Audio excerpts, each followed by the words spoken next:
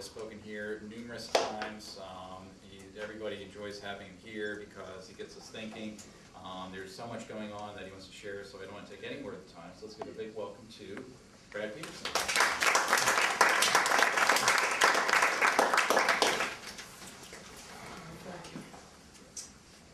I want to tell you that uh, doing these polyrad sessions is one of the most enjoyable things I get to do in my whole life.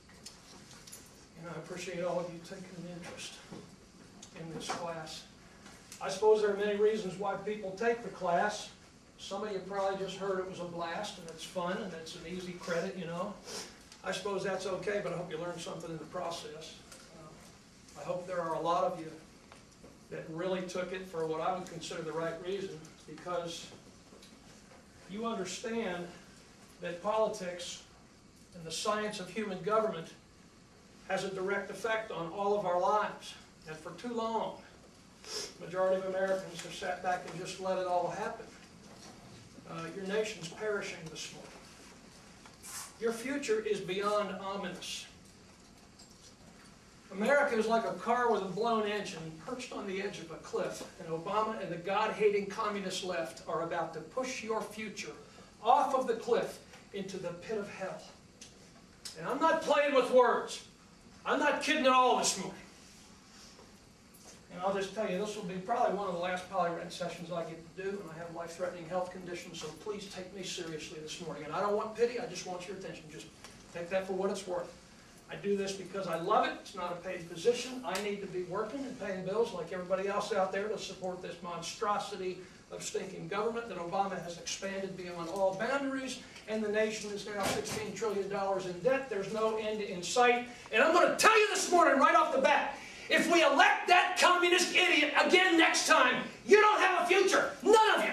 Unless you're going to go work for the stinking beast itself and get employed by some stinking state or federal government position and draw all the benefits and all the pensions. But I promise you, it's not going to last because we're done for. We're done for. But I'm not here just to tear up Obama this morning. He happens to be the latest of many jerks and reprobates and anti-capitalist idiots that have occupied the White House. He is, though, the worst. He's worse than Jimmy Carter, and that's saying a mouthful. He's far worse than even Jimmy Carter. I consider Jimmy Carter a traitor to the United States. Obama's beyond. But how do we get these kind of leaders? How do we get people that hate the Constitution, despise the wisdom of the Founding Fathers, are antichrist in their spiritual mentality, are pro-Islamic, are pro-Palestinian, anti-Israel, pro-world government, anti-capitalist, anti the working class? How do we get people like this? Well, it's our own damnable stupidity as we go to the polls and don't know our right hand from our left. And I want to talk to you a bit this morning about the history and legacy of the left versus the right. This is not kid stuff. You're going to have to grow up real fast when you leave the comforts of home. Because that world out there is burning down. The job market is disappearing. And I'll tell you this, as high school seniors, I'll tell you this. Before you strap on $40,000 worth of debt on student loans so you can go to college and party your brains out and maybe get an education, maybe not, just have fun for the next four years. Before you do that, you better understand that we had the dot-com bubble, and we had the housing bubble, and the banking bubble, and the latest bubble that's going to burst is the student loan bubble. You know why? Because the jobs are gone, and nobody can pay them back. So don't strap yourself on with a massive amount of debt and think you're going to walk out there into a job market and just skip into a high salary job, an entry level position. Are you kidding me? If you're going to do that, though, if you're going to college and you're set on it, you better think hard about what you go into.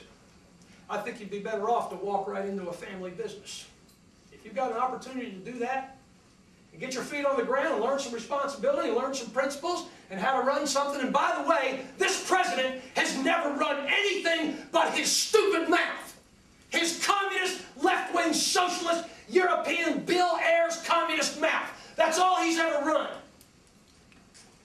And he is the most unqualified child president this country has ever been stupid enough to elect. But if you could walk into a small business that's in your family already, or in a friend or a relatives of the family, I would do it. And I would stand by for a while and watch what's going to happen to this economy. Because every economist that's being honest today is telling us that the American dream is over with. The prosperity of your parents and grandparents is over with. And this president and some before him, and this Congress and some before them, spent us into a pit of financial ruin. And it's just not there anymore. So be careful before you strap on a bunch of student loan debt. I want to tell you today to get yourself a set of core principles. And determine now what you're going to use as your standard for right and wrong as you go out into the college world or the workplace. Before you leave the comforts of home and the guidance of your parents and having all your bills paid, and I'm not saying some of you don't work. I worked construction my senior year of high school and paid my bills, and my dad made me buy half of my first motorcycle and all of my vehicles from then on. Listen, man, don't do it unless, unless you're going to be top of the class, cream of the crop, best of the best. If you're making C's and D's in high schools and think you're going to college and you're going to all of a sudden become brilliant, you're not. You're going to have a hard road to go. And you're never going to pay that debt off because this economy's gone and this country's gone, the job market is gone. And in short, we are under the judgment of God Almighty because we have been spitting in the face of the author of human freedom for over 50 years. And I'll show you that in a minute with a little timeline of the post-World War II time period. So you have a lot on your plate. You have a lot to think about. On a positive note, I will tell you, enjoy your high school years. These are some of the best days of your life right here. I'm not telling you not to enjoy them. Enjoy them. I'm not telling you that you can't be a football star or you can't have girlfriends and boyfriends or you can't have get-togethers and go to concerts. I'm not telling you that. Enjoy these days and cherish these days because you're making some lifelong friendships right here. And that's one of the beautiful things and the blessings about going to high school and being in a, an environment where most of your needs are met and things are taken care of. So enjoy this time, but understand this. You're going out into a world that has gone mad. Just a quick summary of what we're facing. Not only is America disintegrating, but China is becoming the world's leading superpower. Because our brilliant congressman uh, decided in the 90s to begin exporting the jobs and factories of the middle class. And corporate greed got in there to a point, and no question about it. But the politicians were bought and sold, and both parties did that to us through the damnable trade agreements of NAFTA first, and then in the late 90s it was GATT, General Agreement on Tariffs and Trade. And that went on to create, create the WTO, the World Trade Organization, a three-judge tribunal in Geneva, Switzerland that decides all cases in law that have to do with companies and trade and copyrights and patents and things. And we've sold ourselves down the river through stupidity and ignorance of our political system. And so, politics is an essential part of American life, and our politics in this country determines, in large part, the fate of the rest of the human race. Now, I didn't like history when I was in high school. I skated by Probably cheated on tests, you know, wrote cheat sheets. How am I going to remember that stuff? I don't even care about it. You know, pass a test. Listen, I was a creep and an idiot. I raced motorcycles, chased girls, drank enough to float a battleship when grades came out in junior college. I stole stuff when I was a kid from Sears Roebuck and Woolworths, and we had contests to see who had the most fish fishing lures when we got back from stealing stuff at Sears Roebuck. I was a jerk when I was a kid. When I was your age, I was a reprehensible little brat. And so I tell you that to tell you I didn't come from a brainwashing in a Christian home that made me a little goody two-shoes conservative that I turned out to be. No, not at all. I came from quite the other side of the political spectrum and the spiritual spectrum and the government spectrum I didn't even care about. say, well, how did that change? I'll tell you where it changed. It changed right here. It changed with this. Some of you recognize this little Gideon New Testament, the Gideons, fantastic organization. And at that time, I don't know if they're still doing it, but the United States Navy gave me that in March of 1976, when I took the oath to join the U.S. Navy and defend the Constitution against all enemies, foreign and domestic, so help me God. And they give you a little green New Testament. Why is that? Why is that? Doesn't sound like uh, it goes along with the separation of church and state, does it? You're right, it doesn't. And the separation of church and state is possibly, probably, the most damning, destructive philosophy to the nation out of anything else we could name this morning. This modern concept of the separation of church and state is a Marxist tenet. It is a lie from hell.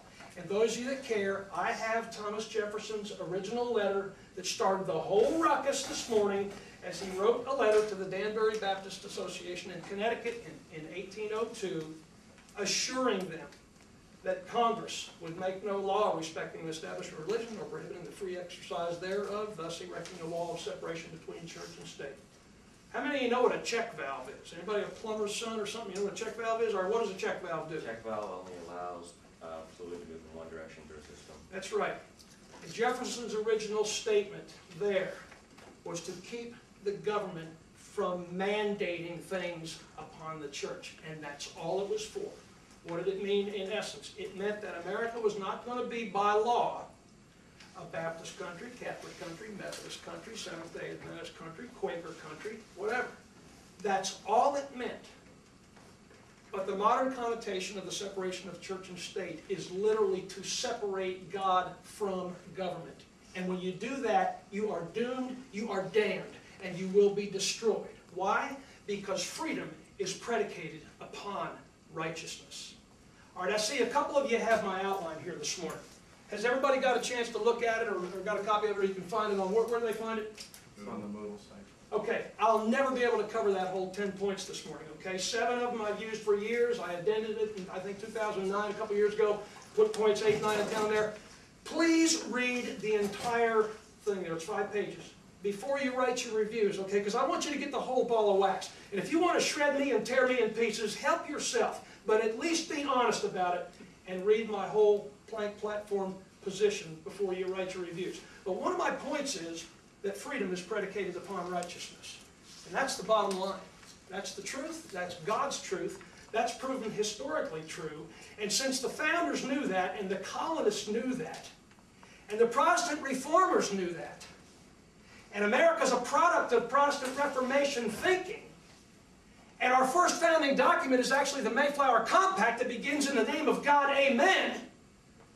See, since all that's true, that is the reason America became the leader among nations after, after thousands of years. This is 4,000, 3, 2,000 BC. Thousands of years of world history and nations having that much of a head start on us. Not to mention the New Testament time period. Uh, England, 900 years. Russia, 1,000 years. I mean, other nations still forming this great head start. And how does it happen? Have you ever asked yourself, how does it happen that 13 squabbling colonies come along, not even able to agree among themselves on everything, and they fight off in military conflict the greatest military power on the face of the earth that time was Great Britain. Britain had several nicknames, Mistress of the Sea. I mean, she's the number one sea power. She's the number one military power. Uh, Britannia rules the waves. And sea traffic and trade and commerce built the wealth of nations, and they had the best. They had the best trained army, if you will, the trained marching soldier force. Best in the world, best equipment, rifling in the barrels. We didn't even have rifling. Plenty of gunpowder factories, arms factories, uniforms, bayonets, the whole thing, cannons. We didn't have one piece of artillery when the Revolutionary War started. Not one cannon. We did not have a navy. They had the greatest navy on earth. How in the world did these little 13 colonies fight off the great war machine and the all-conquering power of Great Britain? It's because God was doing a miracle in human history. And down here, all the way down here from 4000 BC, all the way down here in 1776, they band together and decide that it's high time.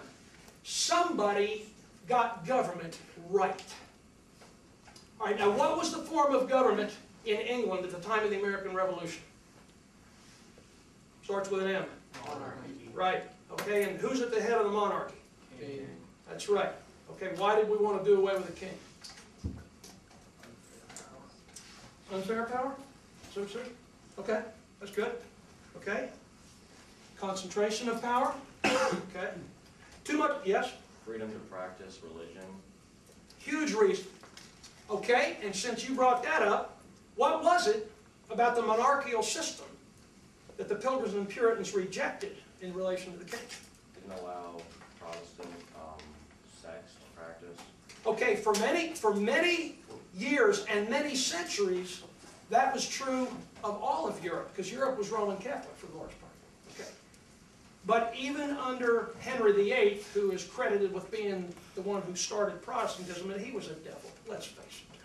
The foundation of Protestantism is pretty rotten because he got mad at the Pope over not allowing his divorce from one wife so he could marry another one, you know, and that's the foundation of rotten Protestantism and it's dead today. Protestantism is dead. Catholicism is irrelevant because it's not based on the Word of God. It's based on a combination of Old Testament Baal worship and paganism and the Bible and church tradition and the dictates of the popes and the cardinals, which are not even scriptural offices. But both of you are correct. It's the concentration of power. So, that, that makes the excellent point. You two guys, okay? Tyranny in government and tyranny in religion, and you're absolutely right. And so, somebody finally says, Europe is hopeless. And it was. Because even under Protestant kings and queens, like Queen Elizabeth, one of the greatest things that Queen Elizabeth accomplished was to make null and void any future Catholic rule in England, and they were going to be a Protestant country. But the problem with Queen Elizabeth and even with King James I was they saw themselves as head of the church.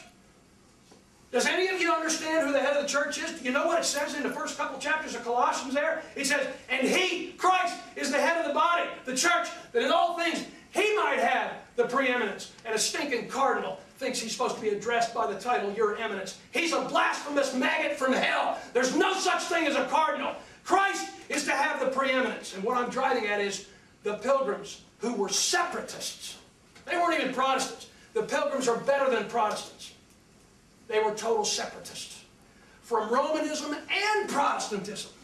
And they saw clearly that things needed to be started fresh. It started from scratch. And so what happened is in 1620, in 1620 they come here. But prior to the 1600s was the 1500s. All right, does anybody remember what, what's going on in the 1500s? What's the major theme of that period in history? It's the Reformation, okay? It's the Protestant Reformation. Because the atrocities and tortures and murders and treachery of Romanism during the Middle Ages reached such an intolerable height of atrocity that even some of the great men in the Catholic Church said, enough, this is not right, this is not the faith once delivered unto the saints, this is not the gospel of Jesus Christ and how it's supposed to be administered, and great men like that were Martin Luther was one of them. He's a Catholic monk. But he's the burning fire and driving force of the Protestant Reformation, and he comes out. And in 1517, he nails 95 indictments against the Pope and the cardinals and the archbishops and the bishops. He nails to his church in Wittenberg, Germany in 1517. He teams up with a man named William Tyndale, and in 1525, William Tyndale's New Testament in English comes out, which is the first time the Word of God had been actually translated from Greek and Hebrew manuscripts. You need to remember that. Major milestone in human progress and understanding and breaking the shackles of tyranny in government and tyranny in religion. Now the pilgrims come here and they land off course. That's why they wrote the Mayflower Compact. They had a charter. And I'm talking to you about the left and the right. Don't miss it. Don't miss it. We are talking about the left and the right. The left is from hell. The right, right is the root word for righteousness. We're going to left and right a little bit. But we're going there so I can demonstrate to you that leftism is the damnation of the human race. The people on the right are the Protestant reformers, the pilgrims, the separatists, the Puritans, the Congregationalists of New England, all the stripes of religious denomination in New England that are breaking free from the tyranny of kings and queens and princes and dukes and lords and popes and cardinals and archbishops and bishops, and they wash their hands of the whole stinking mess in Europe because Europe was unfit for the gospel. Therefore, Europe was unfit for life as God designed. So the pilgrims come here, they land off course, they land near Cape Cod, Massachusetts, they don't have a charter to land there. They had a charter for the northern parts of Virginia. So being honest and filled with integrity and desiring to do that which is right, they knew their charter was not good for where they were going to land. They draft their own governing document and ask everyone on the ship to sign it. Not everyone on the ship was a separatist pilgrim by any stretch. But they were the driving force for the voyage, and others came for other reasons, but they were the heart of the matter. And so the Mayflower Compact begins. Do you guys even look at it? Does it even get studied? Is it even mentioned in an American history textbook in high school these days? I don't know if it is. Well, I encourage you to look it up. And by the way, uh, all of this stuff, go to uh, wallbuilders.com. If you want a crash course in the Christian history of the U.S., if you want to be able to download copies of our founding documents, just about all of them, David Barton's got all of them, wallbuilders.com. The Mayflower Compact, the very first sentence of America's very first founding document, that's going to establish a covenant relationship between man and God. Not only for our daily bread, give us this day our daily bread, not only for that, but, but for our blessing, our protection, our education, our families, our morality, our lives, everything. And that document begins with the words, in the name of God, amen. And about a paragraph later it says, having undertaken, here's the reason for the voyage of the pilgrims of the Mayflower. Having undertaken for the glory of God and the advancement of the Christian faith a voyage to plant the first colony in the northern parts of Virginia, we, the undersigned, do covenant and combine ourselves together into a civil body politic. Ooh, ooh, that doesn't go along with the separation of church and state, does it? No, it doesn't, because it's a communist lie out of hell by a wicked Supreme Court whose justices were appointed by leftist Democrat presidents who can't stand the gospel of Jesus Christ and the regulations and limitations that it puts on human behavior. Oh, yeah, but those limitations and regulations are for our own good. It's for our good. The Ten Commandments are for our good. God's laws and ethics and statutes are for the good of all mankind. And so they covenanted themselves. They made a covenant relationship. Covenant means two parties, at least, at least two. Well, it was between themselves and before God, because it was in His name. So they established the principle in America of a covenant relationship with God, even in our governing document. Civil body politic for our better ordering and preservation. We want to set up an orderly society. We want to be preserved. We want it to last. Our better ordering and preservation. And furtherance of the ends aforesaid. The ends. What are the ends aforesaid? Aforesaid means just mentioned. So what are the ends aforesaid? The advancement, the glory of God and the advancement of the Christian faith. Those are the aforesaid ends. So your first governing document in this country is in the name of God, amen. You understand that when we began after the Second World War, do you understand that we threw God out of the public schools right here, about 63, the first time in our history. By 73, we had declared war on the unborn child. The 50s are characterized by materialism because we, we came home from the Second World War and we forgot who we were and we forgot what we were about. And everybody decided their children were going to have more than they had, and the Depression years were the years leading up to the war. And so we lost our sense of national identity and what life was really all about. We lost the vision that it was all about God and His glory, and we became materialistic in the 50s. The 60s were characterized by rebellion. That's when the British rock invasion came here with the Beatles singing back in the USSR and all of that stinking communistic garbage. And drug-infested rebellion and LSDs Lucy in the sky with diamonds and yellow submarines about a little pill, uh, speed, and Mick Jagger singing Mother's Little Helpers about speed. And this whole damnable music transition takes place in the 60s and it's characterized by if it feels good, do it, do your own thing. God's laws don't apply. I'm, I'm living for me. And by the way, life for the glory of God or life for the indulgence of yourself, that's your great choice. That's everybody's great choice. What's it all about? 70s, sexual revolution takes place. John Travolta, disco fever, and all that stinking. Another transition in music. Goes from rebellious music to, to sex-oriented music. And so the 70s, the sexual revolution begins, and the family starts falling apart. The 80s, the homosexual revolution begins. You're going to cover that with other speakers in other sessions, and I won't even go into that this morning. But I'll tell you what, they're going to answer. I'll tell you who's going to answer worse than the lesbian or the homosexual themselves. They're going to answer severely enough to God for their reprobate behavior in choosing that which is evil. But I'll tell you who's going to answer are the damnable doctors that perform sex change operations and actually biologically change the gender of a human being that was created in the image of God. Lord God Almighty, hell's not hot enough for those doctors, I'm just going to tell you. I don't care who likes that and who doesn't. I hope this thing goes worldwide. Maybe the reprobate doctors doing that will just have a stroke and check out and quit destroying people made in the image of God, Lord God Almighty. You see where we've gone in this, this 50-year time period after World War II? So the homosexual revolution gets strong in the 80s, and the, and the divorce rate hits 50%. And then something happens, and uh, people just quit getting married. They just kind of give up on God's institution of marriage.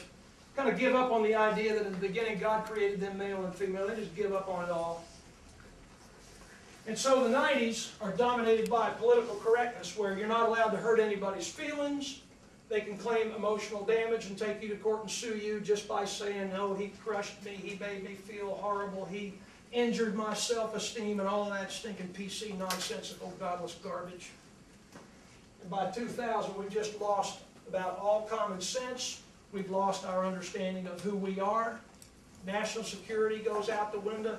I mean, we're just, we're just disintegrating during this 50-year time period post-World War II. And Abraham Lincoln captured it. He, he really captured it well. And this is, you know, 150 years ago.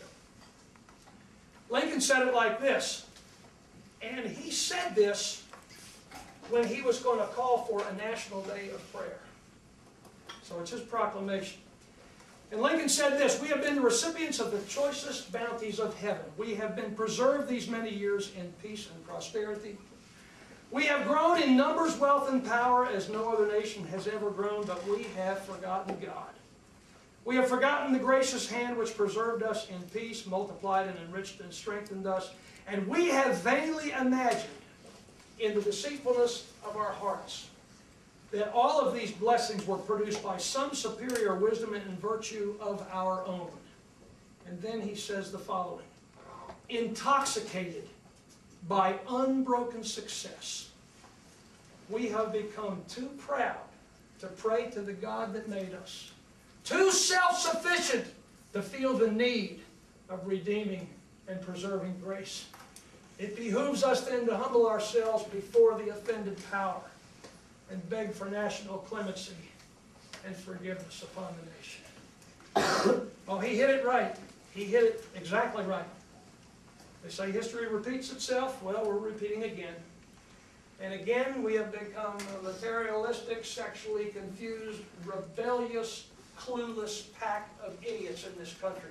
And at least half the population, even after, even after 9-11, took a chance on somebody named Barack Hussein Obama, born to a Muslim father with a terribly shattered upbringing, with 158 days in the U.S. Senate as his total experience, who voted present almost as many times as he voted yea or nay. We knew nothing about him, about his past, about his communist friends and alliances, his Jeremiah Wright stinking anti-American, godless, pathetic puke preacher Jeremiah Wright. He is an enemy of the United States. He was Obama's pastor for 20 years. But the God-hating left-wing media that loves the left and hates the right covered up all of this garbage. And so in subsequent years, now we find out that Obama's campaign for Senate was actually begun in the living room of Bill Ayers, who I understand is coming to talk to you, who is a 60s communist revolutionary that ought to be in prison but got off on a technicality because the prosecutors messed up something in the case. And you can tell him I, get, I, I said so, and I don't care what he thinks about it. Barack Obama, his past is filled with socialists and communists. And that's why America's policy coming down from the executive branch reflects grotesque un-Americanism, grotesque anti-capitalism, higher taxes, more debt, more spending. And I'll tell you, last year, uh, Barack Obama's college roommate, I've got it up here somewhere, Barack Obama's college roommate, I'll dig this up for you after class, went online and let everybody understand, here it is, that the president is not stupid. This guy says rather he's brilliant. And what Obama is doing to America is not by accident. It's a long-term plan that he has perfected. But he learned the roots of the plan in one of our own universities called Columbia in the United States where he went to college. And two professors there that are far left socialist professors named Cloward and Piven taught how to destroy a capitalist nation by overwhelming the public treasury with benefits and entitlements and stimulus programs and bailouts. And he goes down the list. Universal health care. By the way, if you think that's a good idea, who's the originator of government-funded universal health care? Does anybody know who, whose original dream was that? Who said government health care is the keystone of socialism? Who said that? Karl Marx. It's Marxism. So government health care, cap and trade, Puerto Rican statehood, legalizing 12 million, it's probably closer to 20 million illegal immigrants. Failure to deal with the borders, stimulus, bailouts, taxing and regulating small and large business out of existence, etc., etc. And this man here, Wayne Allyn Root, was Obama's college roommate, and he said Obama's not stupid. He's orchestrating a plan intentionally to destroy capitalism and destroy this country. You need to understand something. Obama's father hated England and America. You need to understand Obama was born to a Muslim father, and in Islam, doesn't matter what the mother is. Doesn't matter if she's white, doesn't matter if she's French Protestant from Louisiana, wherever she's from. It's the father that dominates the child's upbringing. Obama spent time in a madrasa. Does anybody know what a madrasa is? What's a madrasa? It's a school. It's an Islamic school where the Quran is the only textbook. This is our stinking president. This is our traitor in chief. But this idiot population put him in there. So who's he going to pick for cabinet people? Well, he's going to pick communists and socialists and overthrowers of the capitalist system. And that's what he's done. How many of you know what the national debt is right now? What's the figure of the national debt this morning?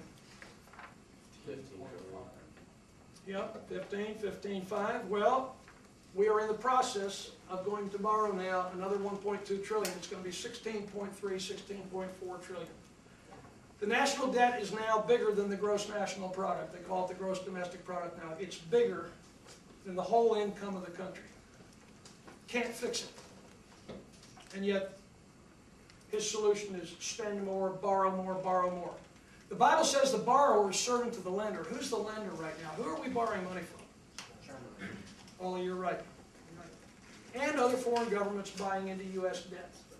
We're becoming the servant of others, and he loves it. How much time do I have? Have fifteen minutes. 15 minutes, okay. Better get to the main thought this morning. You don't know anything about Obama, and we're all still learning about him. But he is a far-left, Christ-rejecting socialist. He's sympathetic to Islam. He wrote two books. One of them is called The Audacity of Hope, the other one's called Dreams of My Father. And in one of those books, this president actually said, and these supposedly he wrote them during the campaign, in one of those books, Obama literally says, and I quote, I will side with the Muslims if the political winds begin to blow in an evil direction. That's our stinking, treasonous, traitorous president. How in God's name can he swear to uphold, support, and defend the Constitution against all enemies, foreign and domestic, when he is the greatest domestic enemy on the planet right now. He is the enemy. He's the enemy of your future. And he's going to get us all killed if it's not stopped. So if you want to hug trees and love immorality and hate capitalism and go with Obama and hope and change and all that crap, well, help yourself, but you just committed national suicide by proxy for everybody in the room. I'm begging you to reconsider if you're planning on going that way. All right, a little bit about the history of the left and the right. The left is atheistic from the word go. The right is theistic. The A in atheistic is a negative. It means no fails, no God. Theology is the study of God. Atheist means negative on theology. Theist, theos, theos is God. In 1776, it was not just our Declaration of Independence. I'm going to give you the history of leftism. And I'll tell you quickly, uh, leftism goes all the way back to the Garden of Eden, really, because when Satan said, ye shall be as gods, that's what these people think they are. This, this group here, the Charter of the Illuminati, the Bar- Bavarian Illuminati, Bavaria was old Germany. They sought to abolish, I didn't put the word abolish in here, but this is all they sought to do away with in a six-plank platform. Abolition of private property. That's totally against the American dream. Abolition of inheritance rights. What does that mean? That means the government ends up owning everything you worked for all your life. Abolition of all sex laws and moral codes. The left is pro-death, they're pro-sodomite, they're pro-lesbian, the GBLT caucus is in their camp. This is leftism. Abolition of patriotism to national states. And you know, these politicians are always saying to one another, the, the, the Democrats always say, are you challenging my patriotism? Yes, I am, because you're from hell, you leftist pinko. You're from hell, you Democrat National Platform Committee members. Reid Pelosi, dear God, man, the treason of it all. Yes, I'm challenging their patriotism. By the way, by the way, patriotism is not to the president. Patriotism is not even to a party. Patriotism is to the Constitution. Tuck that away on your hard drive. Not even to a party, it's to the Constitution. Abolition of all ordered government. Oh, except for theirs, of course. What does that mean? That means one world government. No states, no nations, no patriotism. No national identity, just them. This is a one world government without God. Plank number six, abolition. Destroy, do away with. Religion based on faith in God. This is the history of leftism. 1848, Marx and Engels took these six planks and revised and expanded them into the ten planks of the Communist Manifesto. You want to see those ten planks, they're right here. I got them. I'm sure you can look them up if you want to. And it is all about the centralization of power. Everything in the hands of an all-powerful federal government. All right, what is the counter to this Christ-rejecting, God-hating, atheistic, stinking nightmare that brought to the human race mediocrity first through socialism, because there's no incentive to do better or, or produce a better product or strive for excellence and make a better wage and better yourself. It's mediocrity is what socialism brings. There's no incentive to do, to do things in an excellent way. War, death, destruction, human misery and suffering, a world government without God. Eventually, leftism is going to lead us to the end-time bloodthirsty nightmare regime of a one-world government under Antichrist. That's how serious leftism is. Who are the heroes of leftism? Marx, Engels, Trotsky, Stalin the mass murderer, Pol Pot, mass murder of Cambodia, Mao Zedong, mass murder of communist China. Those are the heroes of the damnable left. And Americans are so stupid they don't even understand. When they go to the ballot box, well, I'm going to vote for the Democrats, going to give me free health care. You idiot, you idiot. You're voting yourself into communist concentration camp America. God help us. That's a little bit about the history of leftism. What is the counter? God offered this. Listen, this was May 1st of 1776, this charter. God answered this nightmarish satanic plan for world government without God through the Declaration of Independence, July 4th, 1776. Satan's plan, God's answer, left, right, atheistic, theist. No God, it's all about God. This is the left and the right. And the future of this country is in some degree in your hands as Ohio, being a swing state. It's partially in your hands. I hope you're taking it seriously. What was God's answer? Declaration of Independence. When in the course of human events it becomes necessary for one people to dissolve the political bands which have connected them with another, that's us in Great Britain, and to assume among the powers of the earth the separate and equal station that the laws of nature and of nature's God entitle him, a decent respect to the opinions of mankind requires that they should declare the causes which impel them to the separation. That's the first paragraph of your declaration. Key statement the laws of nature and of nature's God. This side says there is no God, and in fact, they want to abolish religion based on faith in God, and they see themselves as the gods of the human race. This side says we're going to govern ourselves, we're going to build a nation, we're going to get it right for the first time in thousands of years of human history, we're going to get it right. And by the way, the Constitution flows from the Declaration, which is the character statement of the nation. And then in 1787 to 1789, the Constitution is the methodology, it's the nuts and bolts, it's the mechanism by which we're going to implement the character statement of the Declaration of Independence. So it begins with the, the key phrase in that first paragraph is the laws of nature and of nature's God. Second paragraph, how's it begin? Anybody know? Second paragraph. We hold what? We hold these what? To be what? What does self-evident mean? Right. Obvious, that what I said? Okay. Obvious to the most casual observer. So we hold certain things to be self-evident. What are they? Number one, that all men are created equal. You notice they said created, not evolved? What does that mean? This side of the equation, on the right, presupposes a creator. All men are created equal. They are endowed, number two, they are endowed by their creator. What's an endowment? Right? Who said that? That's two in a row. A for the day, right there. All right. I know I'm mad as fire about Obama, but I can have a good time too, believe me. I love you guys. right? Endowed by their creator means God gives what? With certain unalienable rights. What's unalienable mean? It means they can't be taken away because they come from God. He's the author of them. And so mankind, all of us, are entitled to them under God's design. If we disobey, we're going to lose it. But under God's design, we're entitled to certain unalienable rights. And in the middle of the word unalienable is the word lien, L-I-E-N, like a, like a lien against your house because you still have a mortgage on it, okay? It's not really yours. But these are unalienable. They come from God. No government, no king, no tyrant has a right to take them away in God's design. Certain unalienable rights. And then the little phrase, among these. That means not limited to. Among these are life, liberty, and the pursuit of happiness. All right, let's look at that. Life.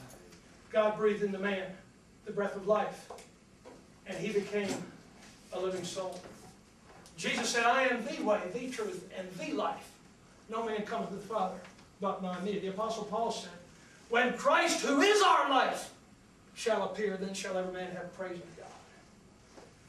And Paul said, The life which I now live in the flesh, I live by the faith of the Son of God. Why? Because he's the author and giver of life. Jesus Christ is actually the creator. I won't go there with you this morning, but all things were made by him, and without him was not anything made that was made. Jesus Christ was allowed by God the Father to actually be the creative element of the Trinity. What power, what power. We got five minutes. All right, life. Is that including questions and everything? I mean, that's done? We're done. I'm dead. I'm dead. I'm going to shut up and let you ask questions, okay? God breathed into man the breath of life. We're entitled to liberty. That word of God says in 2 Corinthians 3.17, what's the spirit of the American Revolution? Well, the Lord is that spirit, and where the spirit of the Lord is, there is liberty. Guess what the opposite of that is? Where the spirit of the Lord is not, there is tyranny. And that's where we're going, because we'll become a godless, backslidden, reprehensible, sexually confused, rebellious, wicked, materialistic people. And if we don't repent and experience revival in this country, and if God's preachers don't get with the program of preaching repentance, we're done. We're done. Life, liberty. God's the author of liberty. Christ said, I am come that you might have life and life more abundant. What makes life worth living? The Bible says, You shall know the truth, and the truth shall make you free. Spirit of the Lord is there liberty. And then look at this. And the pursuit of happiness. What's pursuit mean? What, what is a pursuit? To chase. Huh? To chase. Change. Yeah. Go after it, man. The pursuit of happiness is not a stinking welfare check that somebody else worked for. The pursuit of happiness involves the work ethic. Where's that come? That comes from God too. If any man worketh not, neither should he eat. And of course, we're supposed to care for the hungry and the naked and the downtrodden and the oppressed and the sick and the lame and the diseased. Of course we're supposed to do that. And the churches are the ones that are supposed to do that. And we've allowed government to even take that over. Because this dependent class has gotten so large now under damnable God-hating leftism that the churches can't handle it anymore and the whole society's breaking down. It's breaking down. And the employment rate's 20 the unemployment rate's 20%, not, not 8.234. Then the purpose of government says to secure these rights, governments are instituted among men, deriving their just powers from the consent of the governed. On this side of the equation, the power comes from these stinking satanic leaders, and you don't have any rights unless they say you do. But under the theistic system of our declaration, and under God's design, power is by the consent of the governed, and that's why we have elections. These people didn't have a choice. I hope you're getting it. And even when any government becomes destructive of these ends, it is the right of the people to alter, abolish it, and institute new government. Unbelievable, the right to alter, abolish. What does this side lead to? What does the right side of the equation lead to? It leads to life with a purpose. It leads to human happiness, or it used to until we started sliding towards the left and losing our spiritual and governmental mind and our historical understanding is perishing. But it led to these things. Progress! We've done more for the human race than any other country ever has or ever will in the history of the world. Security, never been attacked on the lower 48, with the brief exception of a little bit of a Japanese attack on Attu and Kiska, the islands up there, but we've been blessed in this homeland never to have been destroyed like the nations of Europe under Hitler's Blitzkrieg or some other thing like that. A blessing to the human race. We pour out more foreign aid and disaster relief and going to help people and even fight their wars that they can't fight for themselves. We do it all. You know why? Because that Bible says, greater love hath no man than this, and a man lay down his life for his friends. And we have spent it and spilled our blood and laid it down because this was a Christian nation at one time. And we're perilously close to dying. Life worth living, resistance to tyranny, a little slice of heaven on earth under God's design.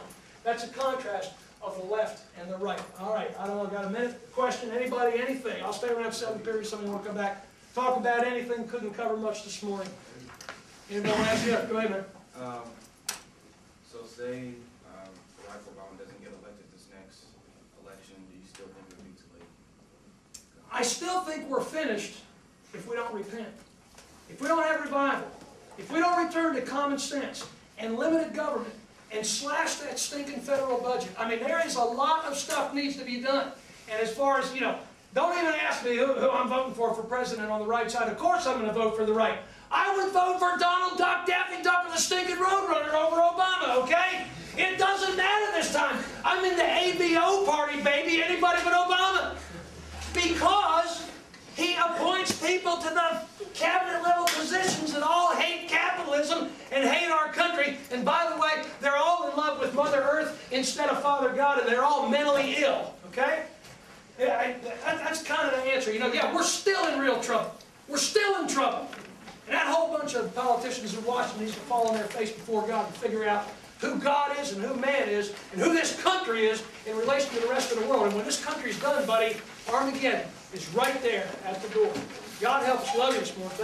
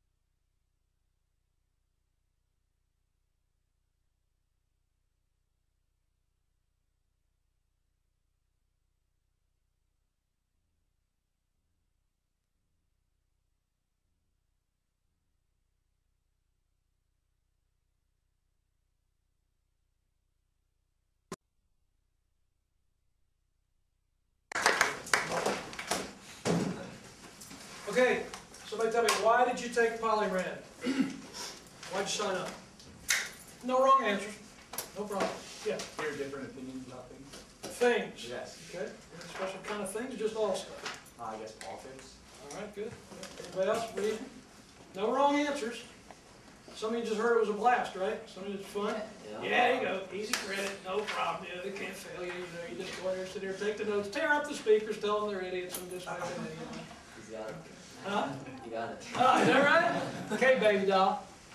You tear me up, you better know what you're talking about. Put your, hey, put your name on yours. Anyway, look, we, we can have a good time today to a point, but I'm gonna tell you what, I'm gonna talk to you about some serious stuff today, okay? All right.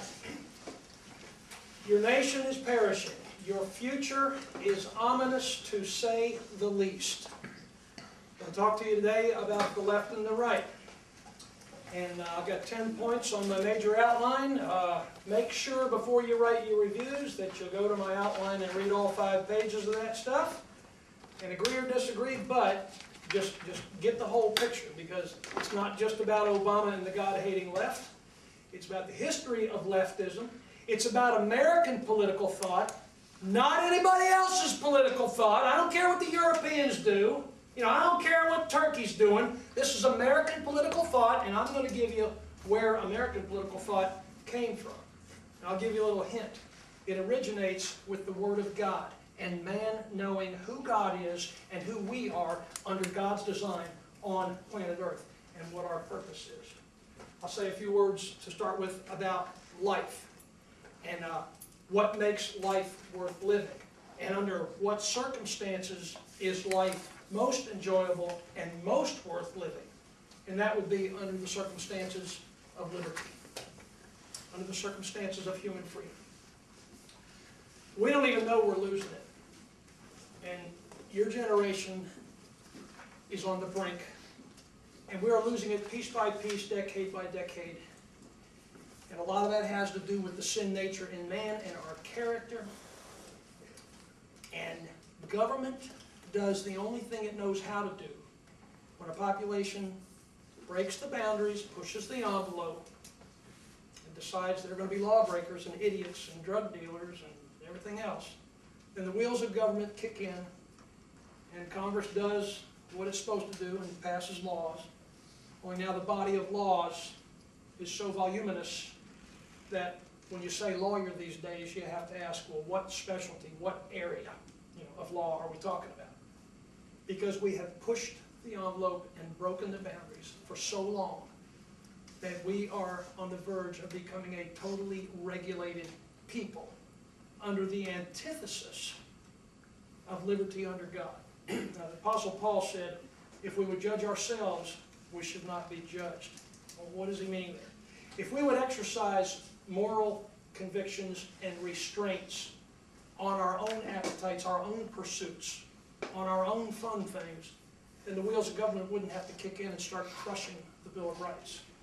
But that's what happens when the sin nature in man is manifest, goes uncorrected, unredeemed through the gospel of Christ and biblical truth. And we, even as a Christian nation, have pushed the envelope so far now that our civilization is being destroyed. I told the last class, and I'll tell you, don't even think about going to college and strapping on forty thousand dollars worth of student debt unless you are best of the best, cream of the crop, top of the class. Because the job market is just about gone. The average number of people applying for any job out there, whether it's dishwasher at a restaurant or some kind of maintenance tech at an apartment complex, it's about hundred and fifty people on average applying for even the most menial jobs. I mean, there are thousands and tens of thousands of educated and college-educated people walking the streets trying to find a place to go to work. And government assistance has almost become God to about half the population. We're on the precipice of collapsing financially. And of the $16 trillion that makes up the national debt now, it's about to be 16.3. Five trillion plus of that figure has been created under the first three and a half years of Obama. He's breaking us. He is wrecking capitalism. He and his people are obstructing any legislation that could possibly do anything corrective for the economy by way of Harry Reid, Senate Majority Leader, won't let anything come to the floor that the Republicans even propose. Therefore, we're hanging on for dear life as Obama destroys all of our futures. That's not my opinion. The national debt is not my opinion. In 230 some years of this country, okay, the debt is 16 trillion. Over 5 trillion of that happened in the last three or four years. Go figure. Go figure. Obama hates capitalism. He hates America as it was founded. His father hated America and hated Great Britain, from which we sprang. His father is Muslim, and if you think that doesn't matter, you're a dreamer. And in one of Obama's books that he wrote during the campaign, this president actually said, I will side with the Muslims if the political winds begin to blow in an evil direction. That is one of the most atrocious statements I've ever heard an American president make, maybe one of the worst. How many of you understand that Islam is a mental illness? It is a spiritual poison. And it has been at war against human freedom for 1,400 years. And I'm not one of these that goes off the deep end and just says, well, Obama's a secret Muslim. But fact is, fact is, that he was born to a Muslim father. Fact is, he spent time in a madrasa, which is an Islamic school that the only textbook is the Quran. Their loyalty is to Mecca, it's not to the United States. Their obedience is to the Quran, it's not to the U.S. Constitution, and it cannot be if they're a good Muslim. And this pathetic, wicked, anti-Israeli, pro-Palestinian, pro-Islamic president has so much hatred for American capitalism in his heart that his Homeland Security Director, Janet Napolitano, a year ago appointed two devout Muslims to high-ranking positions in the Department of Homeland Security. That stuff's not accidental. He's tearing us to shreds. And do you know that they caught one of those guys a few months ago forwarding the terror watch list from our country to the Middle East? So those guys could not get on planes, but get on freighters or smuggle themselves in some other border crossing that we don't watch. Dear God, man. And so, my opinion about Obama is he is a disaster. He is an anti-capitalist, anti-American, constitution shredding, piece of antichrist human political garbage such as we have never elected in the history of this country. And he is destroying your future. All of us. So the left and the right matters. You say, well, can, does the president really have the power to do that? Well, he and his cabinet have the power to do that. There's no future for business being started in the country anymore.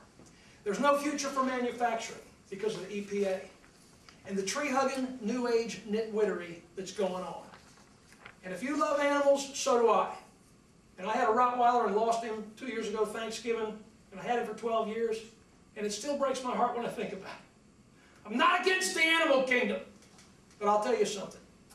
You greenies, whoever you are, and I don't even know who you are, but when the greenies become as concerned about the murder of the unborn child as they are about the snail darterfish and the spotted owl and the whales and the mosquitoes and every other thing, then come talk to me about the stinking green movement. I will tell you something.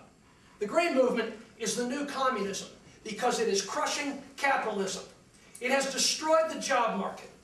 And Obama has tried to ram the green agenda so fast and so strongly upon us that we have squandered another trillion on special grants. Millions of dollars to companies like Solyndra. How many of you even know the story of Solyndra? Is anybody watching?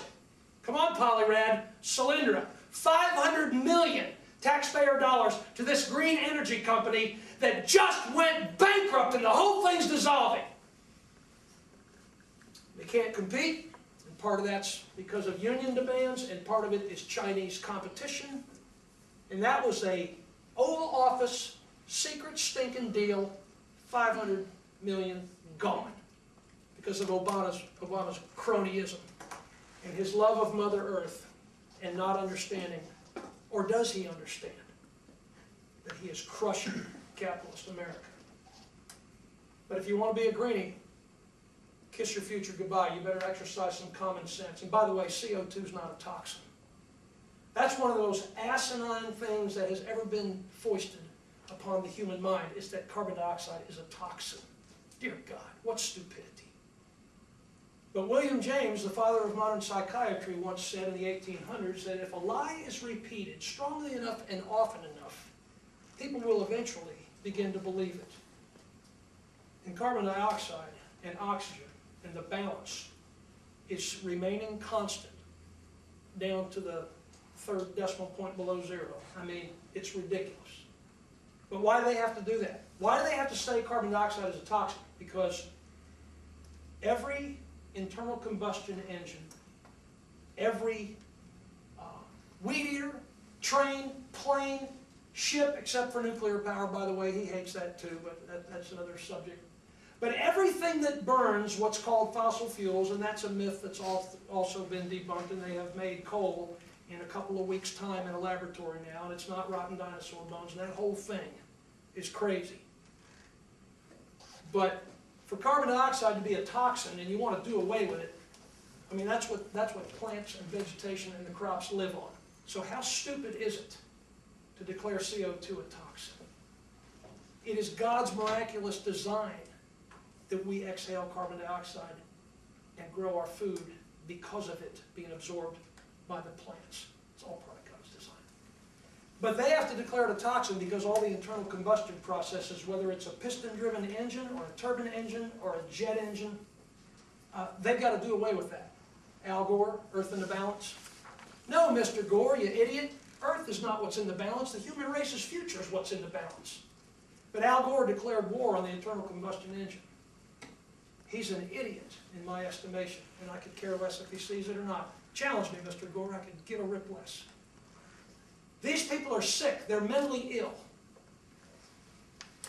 And the whole left, the whole left, screams bloody murder over the snail darter fish.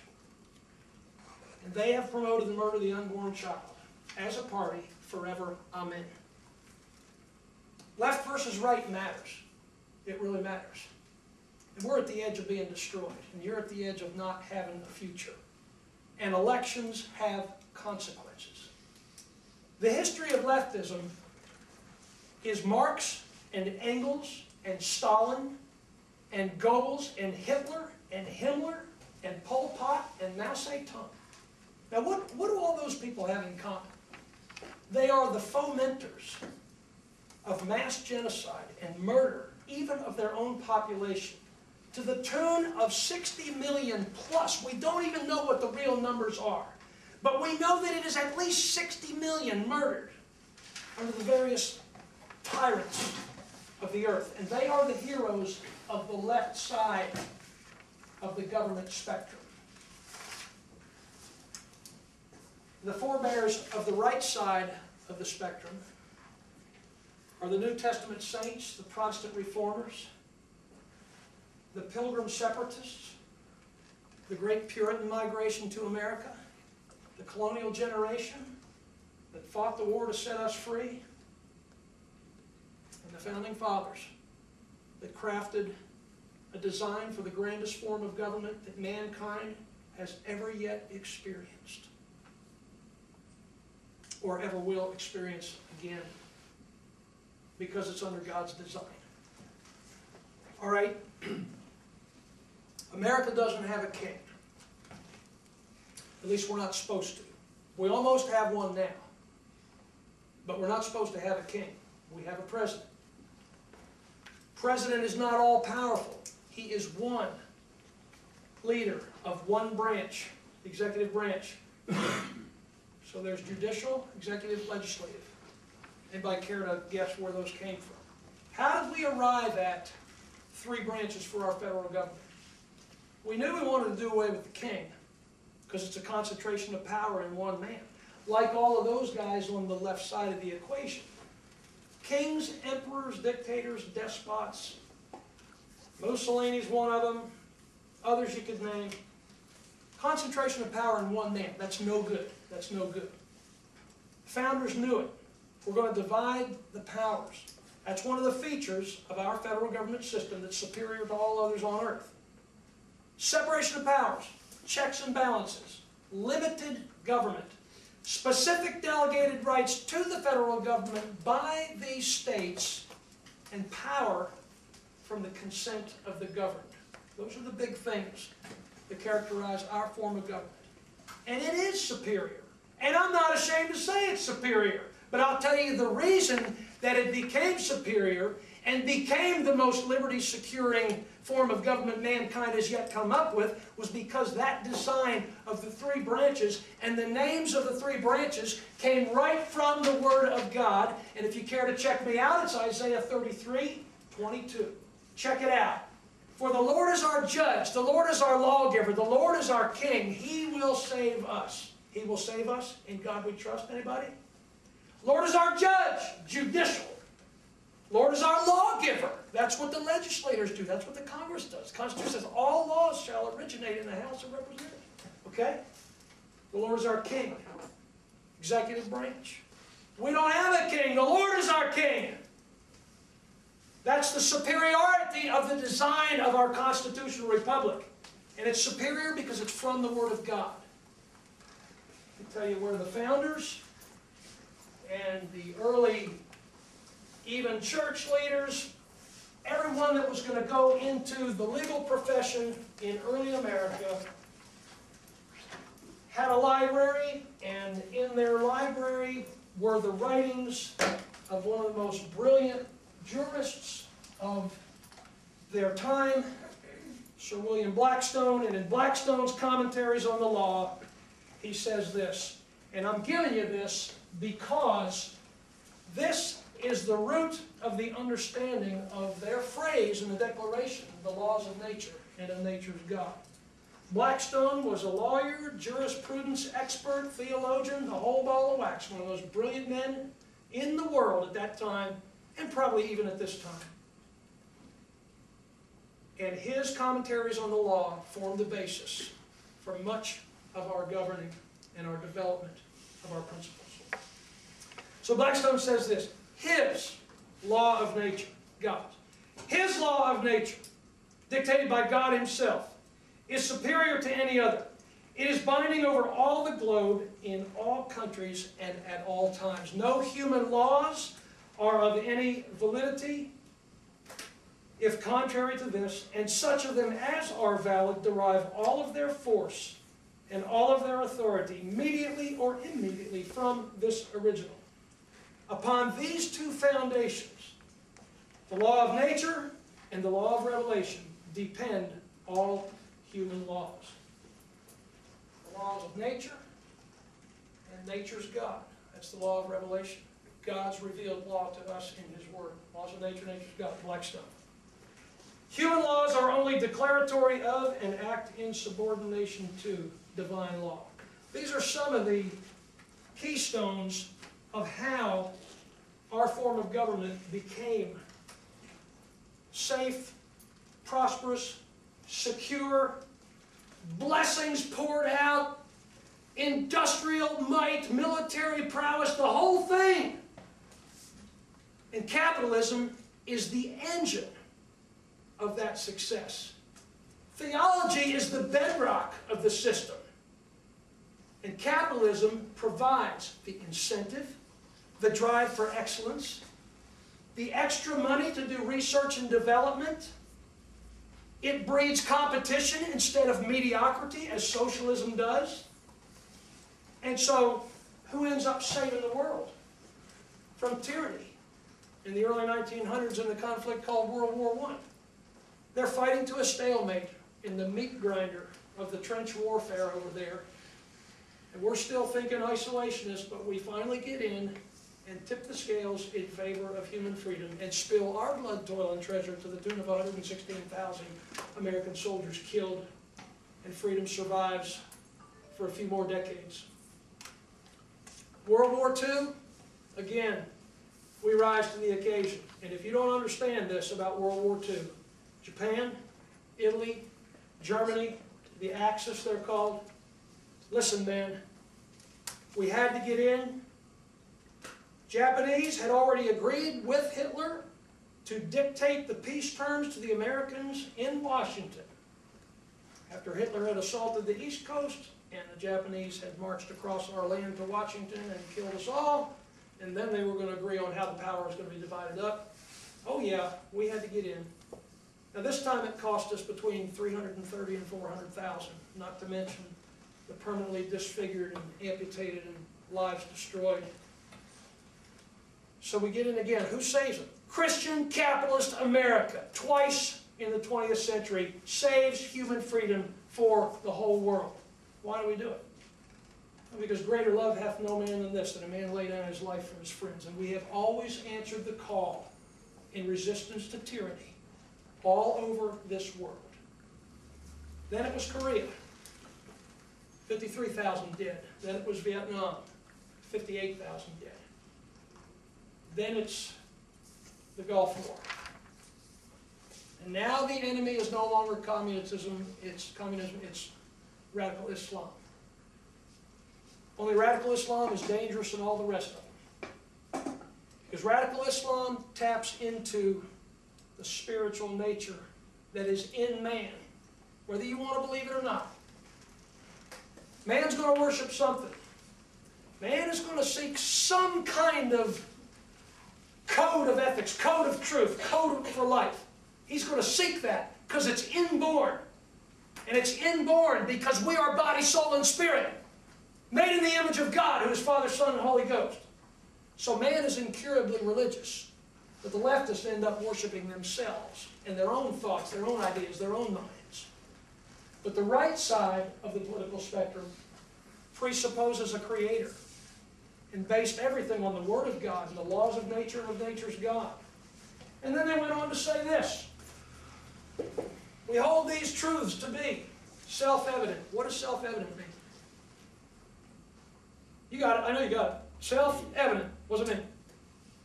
Um, Evident? You can see something? I mean, it's there in front of you, so it starts with an O. I'm trying to help. Right, man, okay. Self-evident. Doesn't need any outside encouragement, doesn't need a long explanation, man. It's just self-evident. What were the self-evident truths? So the founders, who presupposed a creator and said they're going to build a society on the laws of nature and nature's God, they're going to get it right because Europe was a train wreck, partly because of popes and, and cardinals and archbishops and bishops, and even under Protestantism, the kings and queens thought they were head of the church, so there's tyranny in religion.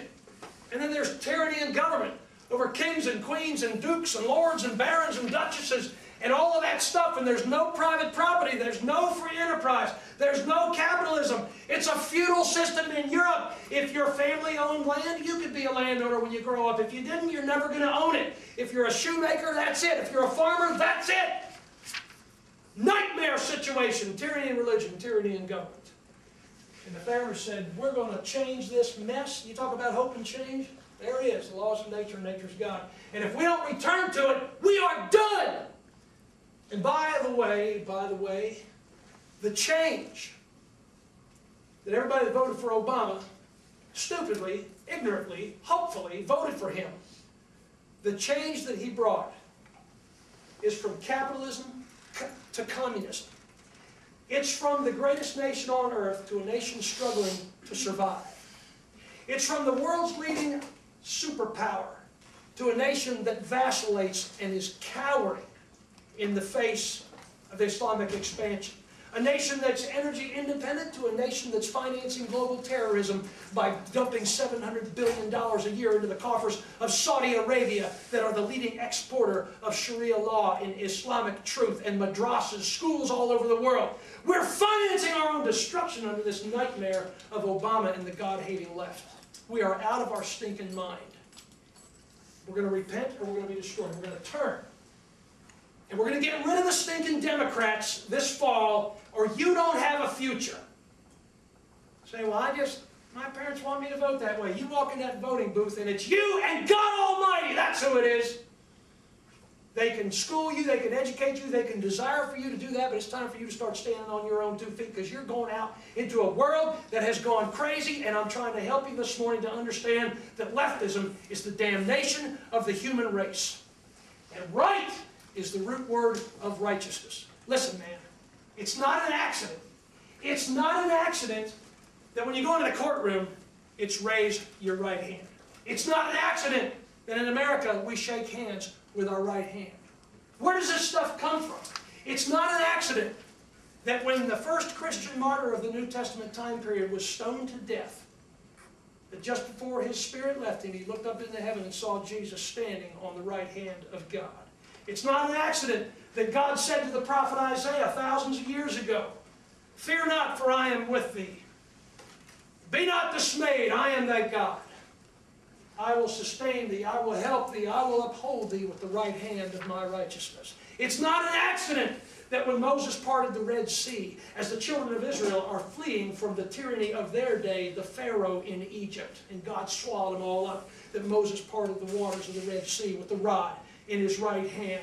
It's not an accident that at the judgment of the nations in the Gospels of the New Testament, that the nations are likened unto sheep and unto goats. And Jesus says, My sheep know me and hear my voice and follow me. The sheep are on the right hand. But those on the left hand, he says, Depart from me, ye cursed, into everlasting fire, prepared for the devil and his angels. Sheep go to heaven, goats go to hell. And it's not an accident that in the book of Ecclesiastes, the supreme book of God's wisdom in the Bible, it says, a, a, a wise man's heart is at his right hand, but a fool's is at his left. And this spiritual truth, I'm sad to tell you, if you were to tell that to your preacher, he'd probably say he'd never heard it before, he thinks whoever said it's crazy. And this is one of the most profound things in the Word of God, and it led to our difference from the rest of the nations.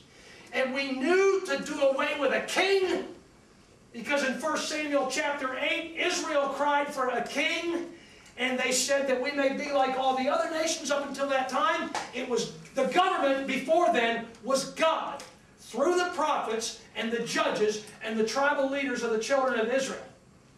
Government was of God, judges, prophets, and leaders of the 12 tribes. Never a king for Israel, God's people. And Israel got backslidden and cried for a king. And the prophet Samuel goes before the Lord and says, Lord, they're asking for a king. And God said, Samuel, they have not rejected you, but they have rejected me, that I should not be king over them. Go tell them they can have a king but here's what he's going to be like. Why am I telling you this? I'm telling you that it was biblical wisdom that caused us to realize we had to do away with the office of the king. And if you'll read 1 Samuel 8, I hope some of you are going to read that tonight. Here's what a king does. He will take of your sons and daughters for uh, butchers and bakers and candlestick makers, pretty much what it says, for servants, maidservants, manservants, for soldiers. He'll take of the firstlings of your flock. He will take the first fruits of your crops. And he will take, take, take, take, because that's what big government does. And that's what a king does. That's what a tyrant does. And, and through the concentration of power, you get life not worth living because there's no freedom, no incentive, no excellence, no progress in your life. And you're locked into being a servant of some stinking, wicked, sinful leader your whole existence. And we broke free from that with biblical wisdom. This is the origin of the left and the right. How much time have I got? We have about twenty minutes. Okay, I got. I'm gonna learn questions. Get, get your questions ready, okay? And, and, and on anything too. Anything on a 10-point outline or anything not on it. Anything I covered today or stuff that I didn't. You wanna know what I think about anything? I'll tell you. Not much time to cover nothing. So God's answer to this mess over here, which was in 1776, both of these things happened. The charter of the Bavarian Illuminati sought to abolish, to destroy private property rights, inheritance rights, that means the government ends up owning everything, sex laws and moral codes, so your morality goes down the drain, family goes down the drain, patriotism, all ordered government except theirs, and abolish religion based on faith in God. This is the atheistic side of the political spectrum. This is socialism. This leads to communism. Because in 1848, Karl Marx and Friedrich Engels took the six planks of the Illuminati, and by the way, by the way, the Charter of the Illuminati was written by a former Jesuit priest that defected from Roman Catholicism, seeing them trying to build world rule through religion, he said, I'm going to do it through the subversion of governments, and I'm going to build a world government by secret societies and underground tactics and undermining the keystones of this thing called freedom that he hated. And so they wanted to abolish all these. Marx and Engels took the six planks, revised and expanded them, turned them into the ten planks of the Communist Manifesto. God's answer. This is May 1st, 1776. This is July 4, 1776. God's answer to that mess is the Declaration of Independence. Beginning with the laws of nature and of nature's God that came from Blackstone, that came from his wisdom from the Word of God. And the lawgiver judge king, again, how are we going to divide it up? From the Word of God. We hold these truths to be self-evident. Got off track a while ago on the self-evident. Means obvious, the most casual word. All men are what? Created equal. The left doesn't even begin with a creator. The right presupposes a creator. And they say, and that they, the people, are endowed by their creator, and endowment's a gift by their creator, so we're given by the creator what? Certain unalienable rights. Can't be taken away by any earthly ruler, because the earthly rulers are not the grantor of the rights, as these people on the left think they are. People think that they are the anointed guardians of the human race. These are the people that believe the lie of Satan from the first couple chapters in Genesis, where Satan cast doubt on the word of God, said, Yea, hath God said, question mark. Contradicted the word of God when he told Eve, Ye shall not surely die if you eat the forbidden fruit. And number three, Satan said, Ye shall be as gods. These people of the left in history, they think they're the gods of the human race. And that's why their plans and their forms of government lead to misery, mediocrity, war, death, destruction, suffering, and eventually an antichrist world government. That's where leftism goes, and that's where it's taking all of us. And Armageddon is at the door right now, friend, in case you don't know. Armageddon is at the door. And Iran threatened to uh, Islamic Iran, Shiite Islamic Iran, and Ahmadinejad is the madman of planet Earth. You better get that straight. So he threatens to uh, close the Strait of Hormuz, where about 40% of the world's oil come out of, knowing that would crush us overnight in our gas prices and further wreck our already destroyed economy. So what does Obama do? Obama calls up Israel and says, hey, uh, we need to cancel those war games we were going to do because uh, you know Iran's getting peeved off and they're threatening to close the strait and we can't afford it. So let's just let's just put that on hold. See, Obama is weakness. He is not strength. He is cowardice. He is not courage. And he loves it as America declines as the world-leading superpower. Now we're intimidated by those idiots in Iran, Lord God. We should have taken out their nuclear facilities a year or two ago. We haven't done it. Israel hadn't done it. Now it's almost too late to do it. And Iran is going to set the world on fire shortly in the Middle East. And then we're going to have $10 gas. Thank you, Obama. I hope everybody enjoys $10 gasoline. Back to this. Self-evident truths, created, endowed by the Creator. Life, liberty, and the pursuit of happiness. Among these are life, liberty, and pursuit That means Not limited to. These are some of them. God breathed into man the breath of life. Where the Spirit of the Lord is, there is liberty. 2 Corinthians 3.17. The pursuit of happiness is not a government welfare check. It's going after it. It's blood, sweat, and toil. It's going after it. It's the work ethic from the Word of God. It says, if any man, any man worketh not, neither should he eat. And power from the consent of the government. The purpose of government under this design is not to abolish those things. The purpose of government on the right side of the political spectrum is to secure these rights. Governments are instituted among men, deriving their just powers from the consent of the governed. So the purpose of government under the right is to secure the self-evident, God-given, unalienable rights of life, liberty, pursuit of happiness, and a lot of other stuff listed in the Bill of Rights. This leads to life with purpose, human happiness, progress, security, and being a blessing to the entire human race. Because of the abundance of wealth, and because of our ability to fight other people's wars, and pour out our blood, toil, and treasure, and give disaster relief like no other nation in the history of the world. And we're doing it all. And nobody else on earth is doing it. Nobody else can do it. And capitalism is the engine of that wealth. And this bastardized president hates capitalism. And he is a bastard child of the American political system, I promise you. And some of you are really upset that I would use such a coarse term. Well, guess what? Bastard's not a cuss word, all right? It's a strong word, but it's not profanity.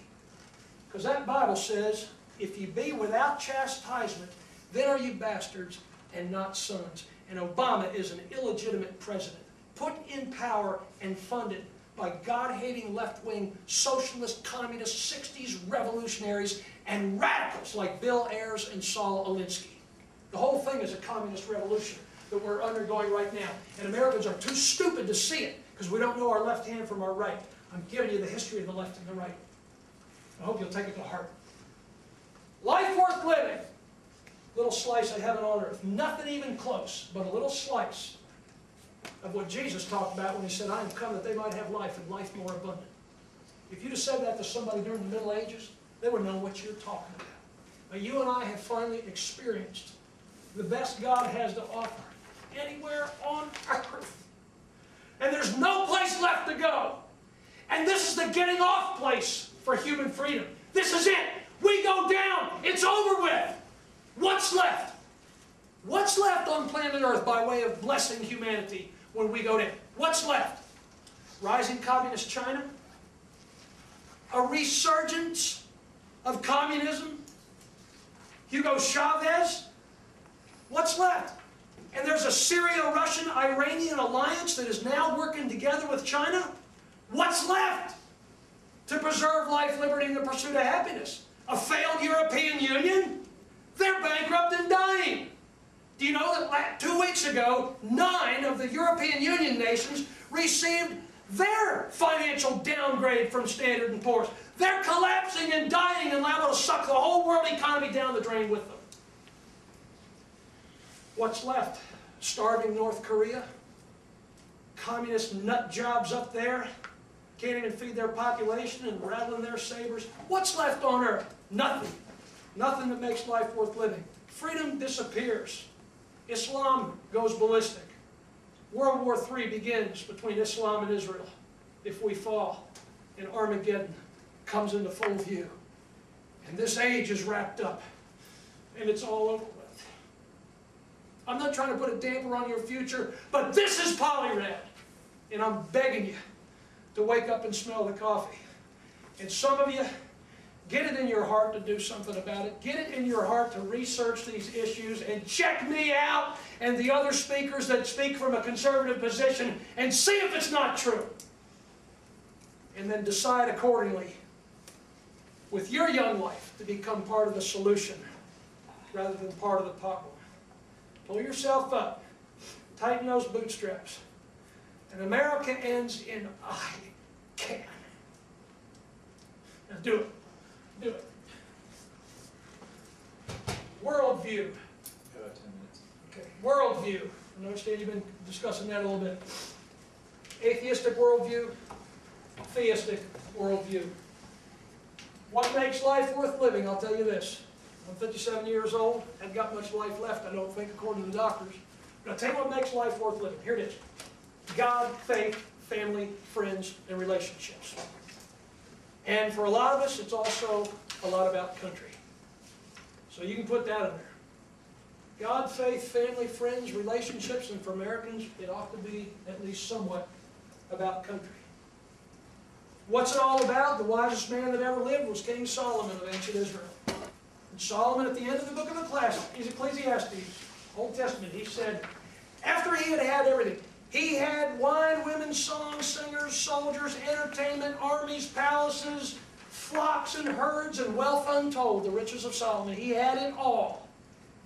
And at the end of his life, and at the end of Ecclesiastes, he boils it all down and says this Let us hear the conclusion of the whole matter then. Fear God and keep his commandments, for this is the whole duty of man. So back to the original question what's life all about? Well, it's either life for the glory of God or life for the indulgence of ourselves. And the people who said it was about God gave to this world and to you and me the best life you can experience on planet Earth in the greatest country the world's ever known. All right, I'm going to shut up. Questions, any subject, any topic, Well, come on, I must have made somebody mad. Go ahead. Who's the fourth person who you've got uh, under Marx and Nietzsche? Oh, yeah, okay, we didn't get to that, all right. That's uh, Robert J. Ingersoll, okay? Ingersoll was, uh, and these guys are all 1850 to 1900, I know this is 1848, but the manifesto is printed in 48 and takes root, okay?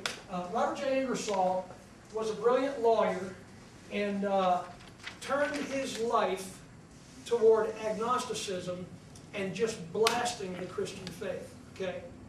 And he would say, uh, he would stand on a railroad track, you know, in Europe somewhere, and he'd, he'd swing a pocket watch and he'd look at it and he'd say, uh, if there be a God, let him strike me dead in 60 seconds. You know, he'd say stupid stuff like that. But he took his brilliant legal mind and began attacking Christianity.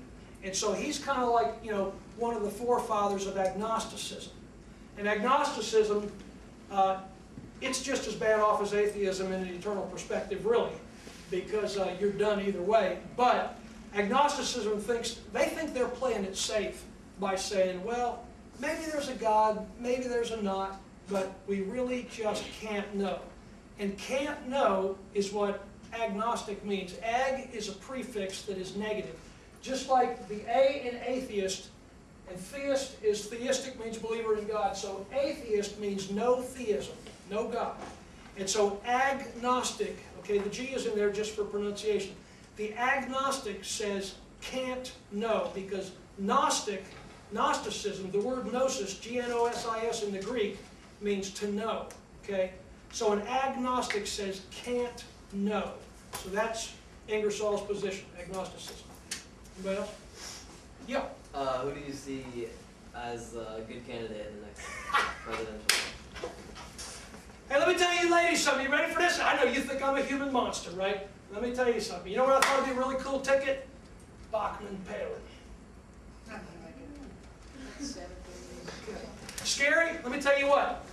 That little farm girl from Alaska's got more common sense than most of the United States Congress, all right? And Michelle Bachmann is a warrior for the Constitution. So anyway, you know, I could go that way, but uh, I would suppose that now, I mean, for me, I'm not really getting behind anybody. Listen, Gingrich is the brains of the operation. He's got some baggage. So what? We're not electing the preacher in chief. We're electing a commander in chief. Gingrich is the brains of the situation, constitutionally, patriotically, militarily, and a lot of other ways. Santorum is probably the strongest Christian of the bunch. Now, Romney's a Mormon, and I don't approve of Mormonism, but I have to tell you that Mormonism is pro-family and pro-life and pro-God in their rendition of the Mormon faith. And something else about Mormonism, they love the United States of America and see it as their promised land. So we're not electing the preacher in chief, we're electing somebody to defeat the communism and treachery and treason of Obama so I could actually support Romney. I suppose that uh, Santorum would be my best choice. And as for Ron Paul, Ron Paul would be the best Secretary of the Treasury that we ever had. We could probably finally get to the bottom of the Federal Reserve, that nightmarish private corporation that manipulates and has wrecked our currency and enslaved us all but uh, not for president. Ron Paul, not president. Ron Paul's messed up on the Middle East. He doesn't fully understand Islam. He's libertarian. He's not that strong of a Christian, and he would get us killed because of his not full understanding of the menace of militant Islam that is storming the planet again. So I guess I'm between Santorum and Gingrich. That's right. Yeah. Um, in the book of Acts, though, weren't wasn't the first church communist? Oh, I'm glad you brought that up. Okay, let me tell you the difference, okay? I know what you're saying, okay? They parted their goods among each other as every man had need, okay? That's true. And they said that nothing they owned was of their own and all that stuff. Why was that? Book of Acts, you said it. Because it came from God. No, no, no, no. Why was it in the book of Acts? What's going on in the book of Acts in relation to the church and the Roman government? Mass persecution. The reason they said that is because they didn't know if they were going to live 24 days or 24 hours. Because on this timeline, I didn't put this in here, that book of Acts is written in the first century AD. So right here, let's just make this uh, 300 years here. Acts is about here. I think it's 40s to 60s AD. That time period is when the new, the newly born Christian faith is under mass persecution from the Roman emperors, the Caesars, okay? And so they are being rounded up, they're being ratted out. I mean, they're saying we have another king named Jesus, you know, and, and Jesus is Lord and Caesar's not God. And they are refusing to put a pinch of incense on the altar to Caesar and say Caesar is God. That's all they had to do to, to, to escape and, and remain alive. But they wouldn't do it because their faith in Christ was stronger than anything that the world had ever seen. So they knew that they were under imminent threat of death every hour of every day. And that's why they said, these goods don't matter. Whatever you need, take it. I might be gone tomorrow. And thousands of them were. It's not Christian communism because there's no such thing as Christian communism. The very definition of communism says that the state is God. The state is supreme. There's no supernatural God. The state is God. And so uh, look up uh, Joseph Stalin, and I've got a little copy of this pamphlet up here on uh, dialectical materialism, but communism totally negates the supernatural. They totally do away with anything metaphysical, anything spiritual. Their view is that religion is a crutch that some people need. They totally disdain it. They are the left. They're the mass murderers of the human race, okay? So there's no such thing as Christian communism. Now, the pilgrims are accused of the same thing, okay? Because of communal farming, which didn't work, by the way. And William Bradford, the second, the second season, said, look, you get this piece of land, you get that piece, you get that, you all get the, you know, we're gonna give you all the same piece of land, and every head of house, his family, his children, you're responsible for that plot, and if you're gonna eat, you're gonna tend that plot, and you're gonna grow your own food. The communalism never worked, so you can't say Christian communism. You could say that they entered into communal farming and communal living, but not communism, because the very definition is that the state is God, okay? And by the way, the Pilgrims didn't come up with that idea. The Pilgrims were under a mandate because of their charter from the, uh, the Merchant Adventurer Society that financed their voyage to a large extent with certain conditions. And one of the conditions was there's a common store and common land and everybody's going to work it so the merchant adventurers could keep track of how much was actually produced so they could take their share of it, see. But by the second season, they knew it wasn't working because they're all starving to death. So then they engaged in free enterprise, personal, individual responsibility of families, and then they prospered. We done? Yeah, bell's about to ring. Thank you, Brad, for coming in and speaking.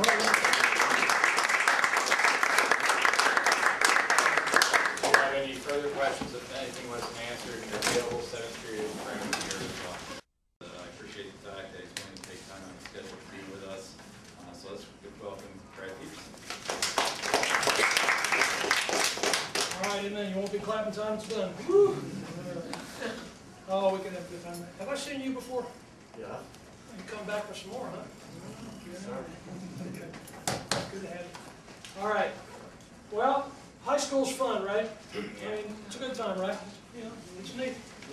I mean, tests aren't fun, you know, grades, all that stuff, you know, but you better do what you can to get some kind of education because uh, you're going out into a very, very tough work environment. And if you go to college, don't even think the economy is gonna be better four years down the road. You're gonna walk into some high-paying job and try to pay off your massive student loan debts.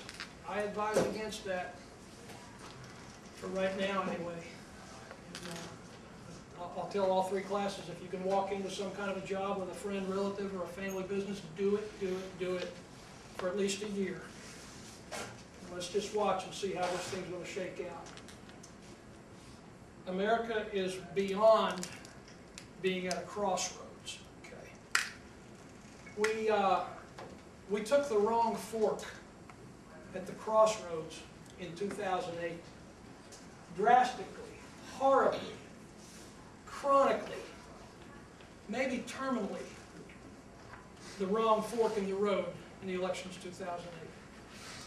Understand that although we do have separation of powers, checks and balances, and limited government, and that the powers are delegated by the states to the federal government, and there are only certain areas that each branch are allowed to set policy in, or to legislate in, that, that's all true. But when you get a president, okay, that hates capitalism, and is pro-Islamic and anti-Israeli,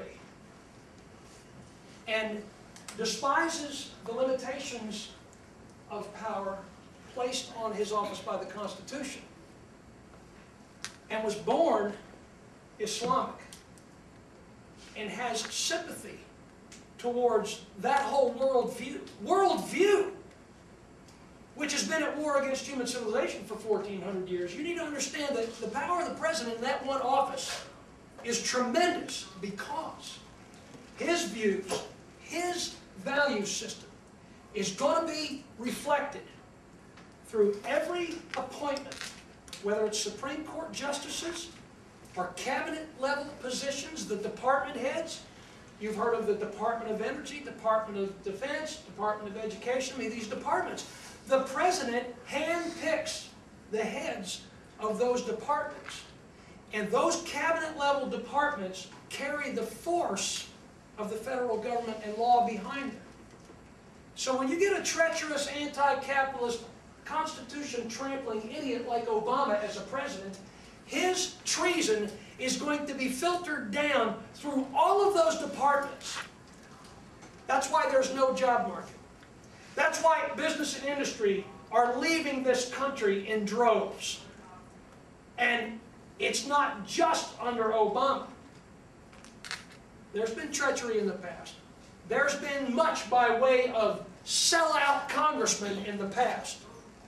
And I have to tell you that part of the shipwreck that we're experiencing right now happened in the early 90s and late 90s through the NAFTA agreement, North American Free Trade Agreement, and then the GATT agreement, General Agreement on Tariffs and Trades, went more worldwide. And so congressmen and senators of both parties sold us out for this mythical dream of free trade and more wealth. Well, the wealth isn't coming home to us. And the wealth is now being built in foreign nations, although we have cheap products. So we opted for cheap labor and cheap prices. And we sacrificed our economic future on the altar of the immediate. Now, Obama's the worst, but he's not the only. He's not the only. And uh, Clinton was president when those trade agreements were signed through the 90s there. But both parties did it to us. In reality, both parties, it took both of them to ram those agreements. And buddy, they did it. Because congressmen can be bought and sold if they don't possess character and integrity and true loyalty to that Constitution. And if they don't understand the world situation and things like militant Islam and the resurgence of communist China as a world superpower and the madman Ahmadinejad of Iran that is on the verge of starting World War III by way of nuclear weapons in the Middle East, and you're going to have $10 gasoline, if not worse.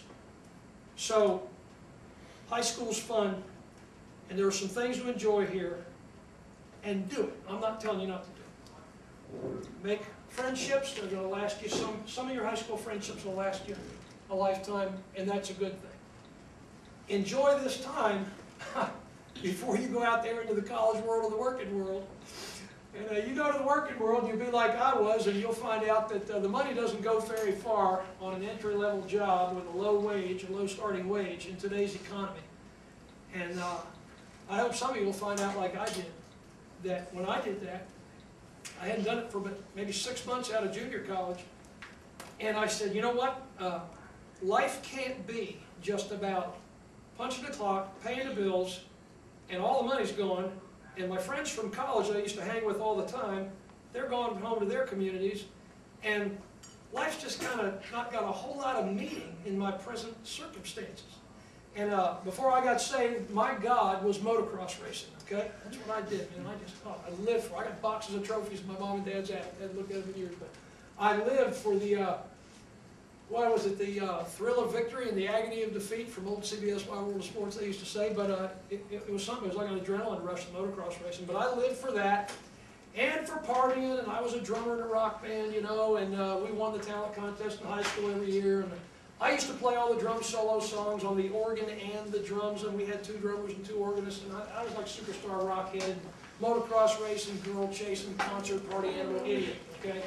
So I'll just tell you, uh, what I tell you today about the political spectrum, the left and the right, and the greatness of America and our Christian foundations did not come from any kind of parental brainwashing upon me because I didn't let any of that stuff take. And I'll tell you quickly, I stomped out of church at about 16 and a half years old and never went back till I was 23 and a half. And so I experienced going into the workplace and stuff not going very far as far as the money and didn't have enough money to go to the races every weekend. And uh, man, all the college life and friends and all that stuff, a lot of that disappeared and now it's the grind, it's the workplace, it's paying the bills. And I said to myself, you know, it- there's got to be more to life than this. It just, it can't be about this hamster in a cage rat race. There's got to be more. Got to be more. And so uh, after about six months of that, I joined the Navy and uh, went in the nuclear power program, got a fantastic education. But in March of 1976, uh, the U.S. Navy gave me this. And this is a little green the New Testament.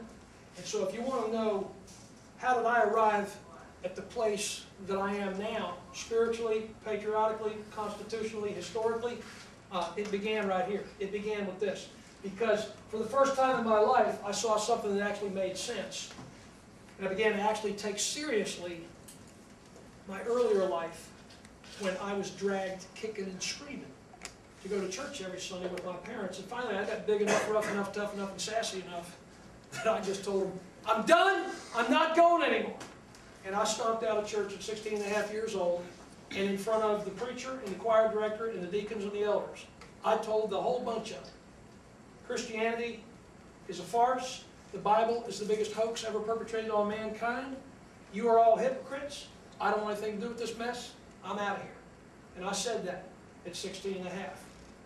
And through the school of hard knocks and figuring out what life was about and what it wasn't about, and what's real and what's not, and what is lasting pleasure and what's temporary pleasure, through the prayers of some friends that I didn't even know were praying for me, I finally gave in and went to a Bible study as I was stationed on the Charleston Naval Base in about 1977, late 77, getting ready to go out on my first submarine patrol.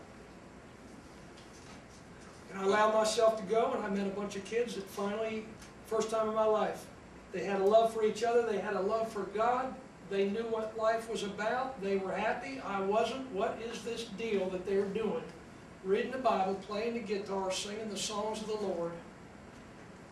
And then I saw Hal Lindsey's movie called The Late Great Planet Earth. Hal Lindsey is a Bible prophecy scholar. He's still writing, still doing some tremendous work. But he made a movie in the 70s there called The Late Great Planet Earth. All about prophecy, the Middle East, the whole situation. And it shook me to my core in Charleston, South Carolina one afternoon in January. And two weeks later, I gave up my fight against parents, teachers, all authority, and finally said, God, you win, I'm in, Jesus Christ is Lord. Now, make me all I can be for your kingdom and your glory from here on out. And so, I'm not a little robotic brainwashed brat that's been taught all this stuff. I had to learn this myself. And you don't even learn it in Bible college. You don't learn much of what we'll say today in most even decent colleges, except for maybe a place like Hillsdale up in Michigan. If you want to go to a place to learn the Constitution and the Christian history of this country, Hillsdale would be the place to go. Doesn't take any government aid. It'll be tough. You'll have to finance it. But you'll get an education unlike any other college in the country. And that's just food for thought. In my senior year of Bible college, God called me to dig into the roots of human freedom and the greatness of America, but yet the demise of America at the same time. I was in college 85 to 90, and things were starting to come apart. Let me show you what's uh, transpired during the uh, time period between uh, the end of the Second World War and now. The 1950s are characterized by materialism. We had the world by the tail. We beat the Axis powers. We came home.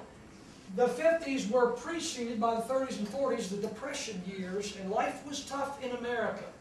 But we defeated the Axis. We saved human freedom. We came home, but we started forgetting what life was all about and who God was and who we were and what our mission America really was. And so in the 50s, we began to enjoy all the good things of a free, prosperous capitalist society. So we digress into materialism being the dominant theme of the 1950s. This causes us to start sliding towards rebellion against truth, against God, against what God says about family, about sexual morality. And this was the generation of sex, drugs, and rock and roll, and if it feels good, do it, and anything goes, and make peace and love, not war. And all of that 60s rebel, stinking Bill Clinton night crap of the 60s went to the White House under Bill Clinton, dear God. And we've just disintegrated since then pretty well. The 70s, the sexual revolution begins when the family starts falling apart and the, the divorce rate goes to the 30 to 35% range.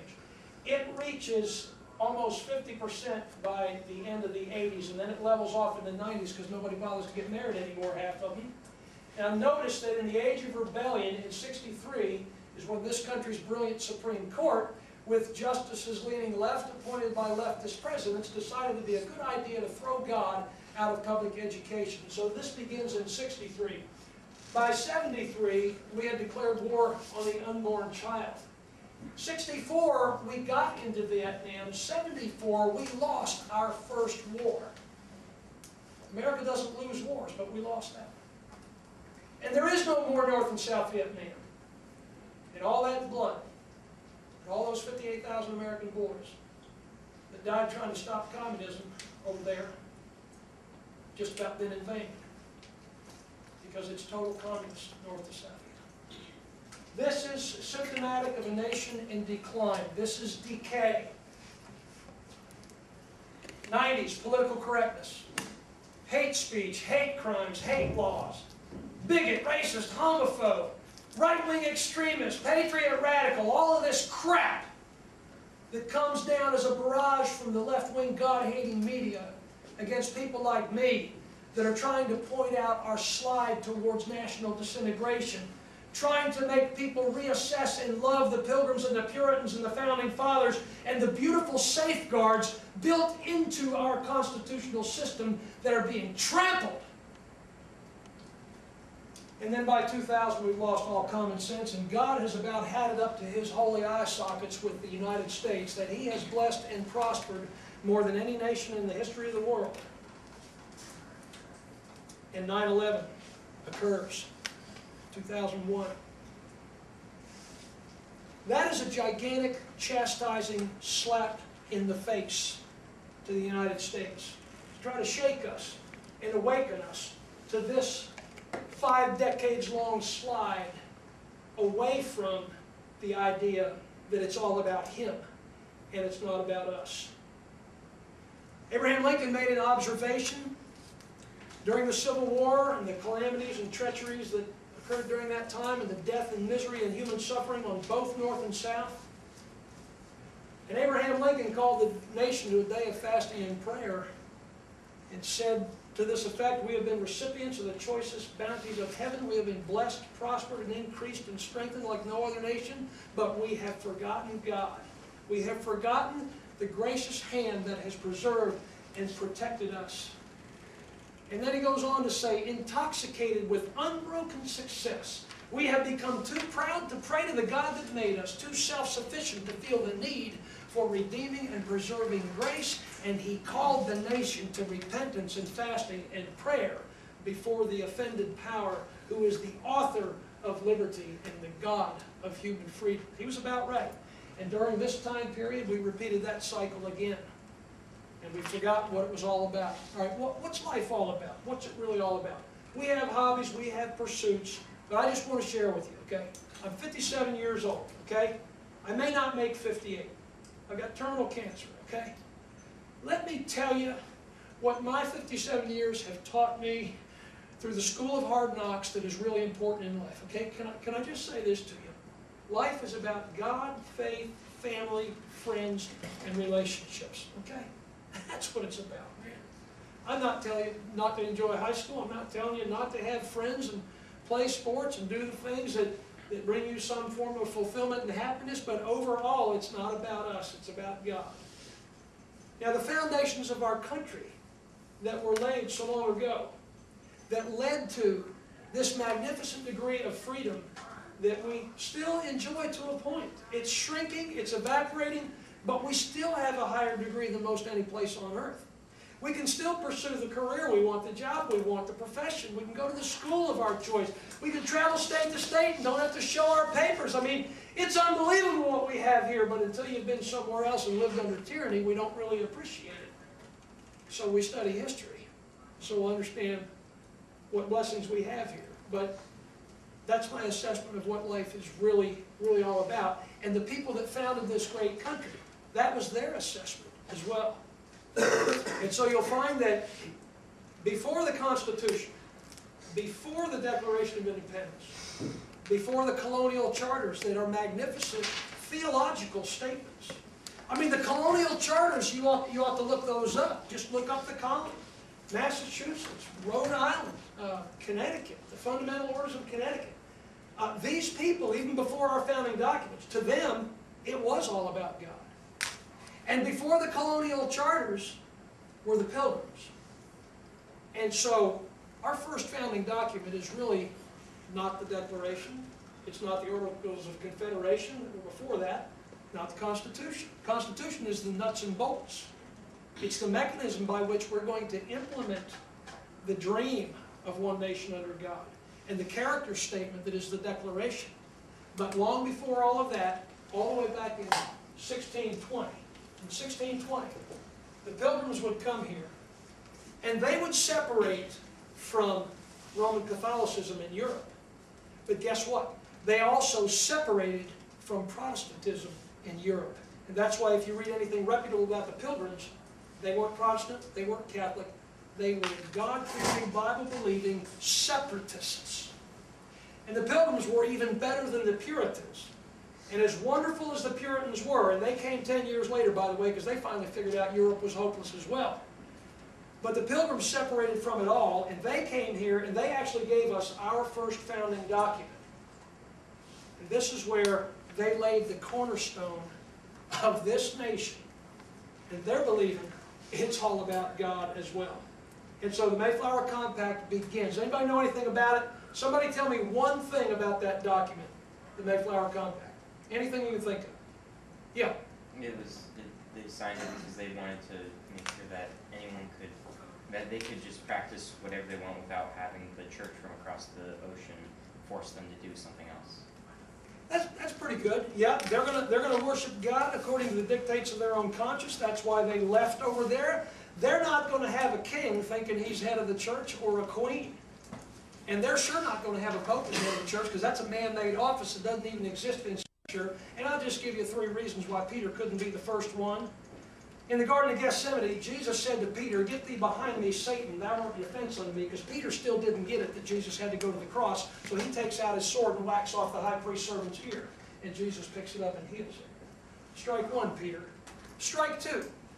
Uh, Peter, when Jesus was being taken to trial, Peter denied the Lord three times and standing, warming, warming himself by the enemy's fire, and the lady said, I know you, you're one of them, you're one of the disciples. He said, I am not, I am not, I am not. And Jesus said, before the rooster crows, you're going to deny me three times. And Peter said, no, never, not me. No, Lord, I'll go with you to the death. But when push came to shove and the rubber hit the road, Peter denied the Lord three times. And the other reason Peter wasn't the first pope is the scriptures talk about Peter's mother-in-law. Well, if you got a mother-in-law, then you're married, man. and that's a disqualification of being pope. So the whole thing is a stinking racket. It's a man-made invention. It's an office. The Pilgrims and the Puritans knew it. They separated from both, however. And the ultimate reason there's no such thing as a pope in Scripture is because Jesus Christ is the head of the church. Colossians 1. And He, Christ, is the head of the body, the church, that in all things He might have the preeminence. And anybody that has a title on this earth called Your Eminence is an idiot and a blasphemer going to answer to God. Okay? So that's why Peter couldn't be the first pope. But you're quite right, the gentleman that said that. Religious freedom is a huge part of their coming to America. But they're also fleeing from tyranny in government. Because the kings and queens, even under Protestantism, they thought they were the head of the church. And they had their archbishops, and their bishops, and their policy, and their Episcopalian Book of Common Prayer, Church of England uh, regimen, and you're going to do it the king or the queen's way, or you're not going to do it. And so they start locking everybody up that won't just fall in line with the way the king or the queen says to worship God. So that's right. That's correct. But the Mayflower Compact is actually a necessary thing because they landed off course in Cape Cod, Massachusetts area rather than the northern parts of Virginia, which was where their charter was for. So they realized, okay, our charter's not good for this area. It's late November. We are not going to survive if we don't build some shelters and, you know, start building, building some homesteads.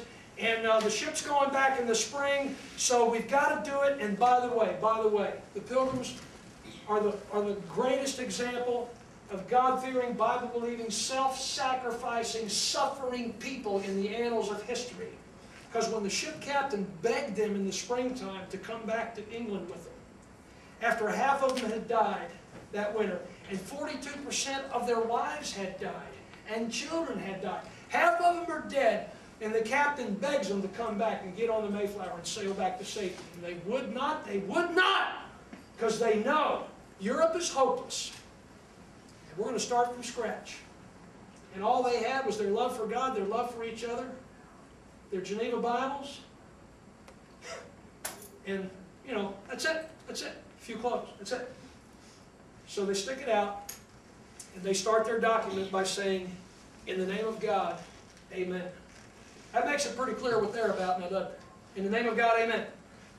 Having undertaken for the glory of God and the advancement of the Christian faith a voyage to plant the first colony in the northern parts of Virginia, we, the undersigned, do covenant and combine ourselves together into a civil body politic for our better ordering and preservation. It's a governing document. For our better ordering and preservation, it's about the future. And furtherance of the ends aforesaid. Aforesaid means just stated. The ends are the goals. So what's the goal that had just been mentioned of the whole enterprise?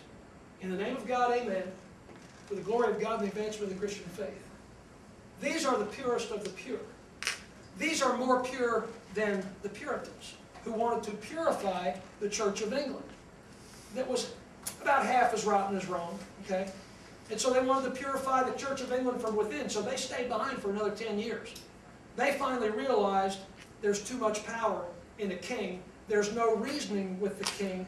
And let me give you this tidbit of history. The reason monarchy is no good for human liberty is because the king has the power to dissolve the parliament. That would be like our president having the power to tell Congress, go home, I don't want you, I don't need you. And by the way, Obama just, uh, just appointed two recess appointments against the Constitution and told the Congress to get lost. He thinks he's a stinking king, and he has got to go. If Obama is not gone, none of us have a future. Our nation is already destroyed economically. We are destroyed job-wise. We've had the, the housing bubble. It has burst.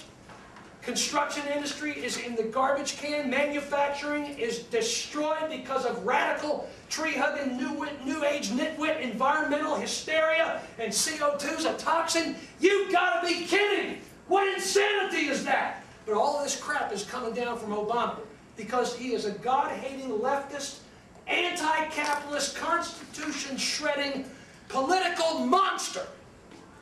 And he's orchestrating a plan to crush this nation's superpower status. And he got that partially from his father that hated America and hated Great Britain and hated all colonial powers, and partly from his Islamic upbringing. And he can't possibly be loyal to the Constitution. He is killing us. In 235 years of this country plus, the national debt has gotten to $16 trillion. Five trillion of that amount has been created in his first term. A third of the entire national debt of this country from our family has been created just under him and Reid and Pelosi. Dear God. And there's no end in sight. And I'll tell you something. The American dollar is going to be put on the ash heap of history. And I keep up with this stuff. And a fella, I, I won't name him because of copyright infringements and all that stuff, but there's a guy that has been studying this stuff for 35 years as a banker, investor, financial strategist, and he said that last year, the Chinese and the Russians and the EU, several other countries, had a secret meeting without us, and they're planning on dumping the dollar as the world's standard reserve currency. Now, when that happens, then oil is no longer going to be keyed to the American dollar. And right now, we're, we're able to stay afloat because we just keep printing money and borrowing money. And everybody has traditionally wanted the dollar because we're the strongest nation on earth with the strongest currency because America's the greatest power. So that's been the case. That's no longer the case. We're done. They know it. They're going to dump the dollar. We're going to have a depression. It's that serious. And Obama is presiding over this dive into depression. And he's loving every minute of it. You couldn't do the stuff he's doing to us by accident. By the way, his college room, roommate named Wayne Allyn Root, you can find this on the internet. if You want to look up Wayne Allyn Root. Obama's college roommate said he sat in the same political science classes with Obama at Columbia University. He was Obama's roommate. They had conversations. There are two left-wing, far-left socialist professors at Columbia University that taught Obama how to destroy a capitalist nation by overwhelming the public treasury with benefits, stimulus, entitlement programs, and bailouts. Crush the private sector, and the engine of capitalism is destroyed. And a man that hates this country is who we've got in the White House. And he hates it as founded, and he hates the constitutional limitations of power. And if he has a second term, he'll rule by executive order like a king, and we're done. We're finished. These are just the facts of the matter, and this is what's coming. Well, back to the pilgrims. They got it right. So they laid the idea, they laid the foundation idea of a covenant between themselves and God for their governing, for their daily bread, for their survival, their future, furtherance of the gospel. They laid that foundation in the Mayflower Compact. That foundation is further reflected in the colonial charters. And I've got a couple of uh, just excerpts. You can look up the colonial charters. The strongest one of these statements is probably Rhode Island. Now, a colonial charter, this is the beginning of one of the colonies and what the colony says it's about. And again, it's either all about us or it's all about God. These are the foundations of freedom. The Rhode Island Charter says, we submit our persons, lives, and estates unto our Lord Jesus Christ, the King of kings and Lord of lords, and unto all those holy and most absolute laws of His given us in His holy word. That's a charter for a colony that becomes a state. Doesn't sound like church and state, does it? No. And the separation of church and state is a misguided, mythological, satanically interpreted lie to destroy the foundations of freedom, which are all in the gospel and the Word of God. Fundamental Orders of Connecticut. Here's one that really tears up the modern notion of separation of church and state. This would have been in the area that's now Connecticut, and a couple of uh, counties up there, Wethersfield, Hartsfield, Wethersfield, Hartford, a couple of, couple of uh, three counties got together and founded this. Here's our purpose. For as much as it hath pleased Almighty God by the wise disposition of His divine providence, and well knowing where a people are gathered together, the Word of God requires there should be a decent and orderly government established according to God. We enter into combination and confederation together. Just like the Pilgrim says, we combine ourselves together into a civil body politic. Ooh, the word politics in a document that has God in it. You see how ridiculous the separation of church and state is? The new interpretation of separation of church and state is destroying the very foundation stones of human freedom. It's a lie. It's from hell. It's an ACLU, Roger Baldwin, 1920, Marxist communist, card-carrying communist, founded the ACLU to kick the foundation stones of our republic out from under us, and they have done it and done it and done it. And unfortunately, most preachers haven't got the guts to even address this kind of stuff or dig into it. To maintain and preserve, that's just like the pilgrims saying, our furtherance and better ordering and preservation and furtherance of the end. Same thing, same spirit. And preserve the liberty and purity of the gospel of our Lord Jesus, which we now profess. The Charter of Virginia, first Charter of Virginia. We, greatly commending and graciously accepting of their desires for the furtherance of so noble a work which may by the providence of Almighty God hereafter tend to the glory of His divine majesty and propagating of the Christian religion to such people as yet live in darkness and miserable ignorance, of the true knowledge and worship of God, etc. You go on through the colonial chart. This is the foundation of the greatness that would become the United States of America. All right. This foundation has been under attack for a long time. This piece right here is uh, 1850 to 1900. Marx, Marx and Engels, Communist Manifesto, printed it in 1848. People started looking at it, started coming into vogue in Europe. 1859, major milestone, Darwin, evolution of species. Let me tell you something about Darwin. Towards the end of his life, he realized some of the wreckage that he had wrought by his so-called evolution of species book and his theory of evolution. Darwin said the following, when I look at a peacock's tail, it makes my blood run cold. What does he mean? A peacock's tail is that great big, you ever seen one great big semicircular, beautiful feathered arrangement thing? And it's got all these circles, it's got all these gold and blue and purple circles in it on the fantail of that peacock's tail. But here's the deal. The circles are not just on one feather.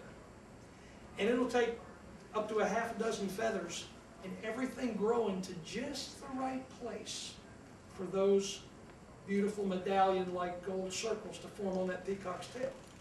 And Darwin was saying in so many words, that scares me to death because it blows my theory to smithereens because the mathematical impossibility of that happening by random selection and chance is out of the universe. That's what he was saying.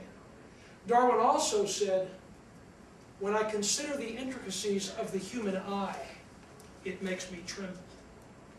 Oh no, he knew. He knew he was wrong, and he's been proven wrong. And Haeckel's embryos and the, the chart of the Homo erectus and Homo erectus and Cro-Magnon man and all of this monkey brain stuff that comes down to a human being is a load of stinking, humanistic, Christ-rejecting scientific garbage. And it's being proven so year after year.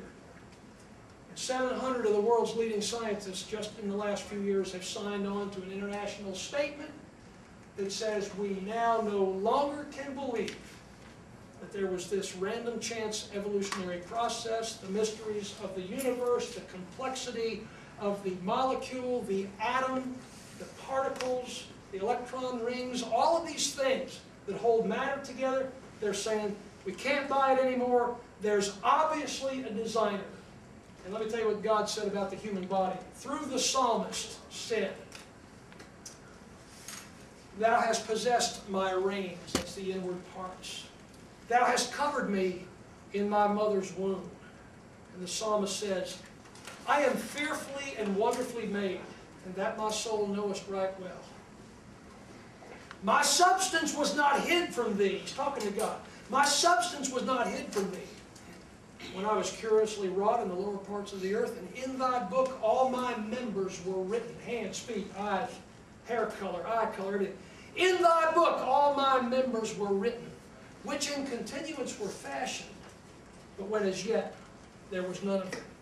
And I'm here to tell you tonight, if you want to go ahead and believe that you came from the eternal cosmic slime and muck from a one-celled amoeba or a protoplasmic stinking bacteria molecule that grew feet and sprouted wings and flew around and landed on a college campus with a PhD teaching people they came from monkeys, you're sick. It's the worst kind of sick, you're spiritually sick. It takes more faith to believe a lot of crap like that than it does to say in the beginning, God created the heavens and the earth. And God made man in his likeness. That's why you and I are body, soul, and spirit, because God is Father, Son, and Holy Ghost. Everything's in threes in the creation. All of matter is liquid, solid, or vapor. It's all about God. The Pilgrims knew it was all about God. The Puritans knew it was all about God. They're a little late getting on board, but they knew it was about Him and not us. And they laid the foundation to build what became the greatest nation the world's ever seen. A little bit about, yeah, Twelve minutes. 12. I gotta shut up. I gotta shut up. Hadn't gotten anywhere. So, where were we? We were with these guys. There's an assault on human thinking, okay? In this time period, it's an assault. All right, Marx, uh, Communist Manifesto, Darwin, Evolution of Species. See, this is when everything that man believes and the church believes about God and man, this is when everything is being questioned and turned upside down. Nietzsche, uh, nihilism, nihilism. It means nothing has any meaning. We're just floating through the cosmos, and there's good and there's evil things happening.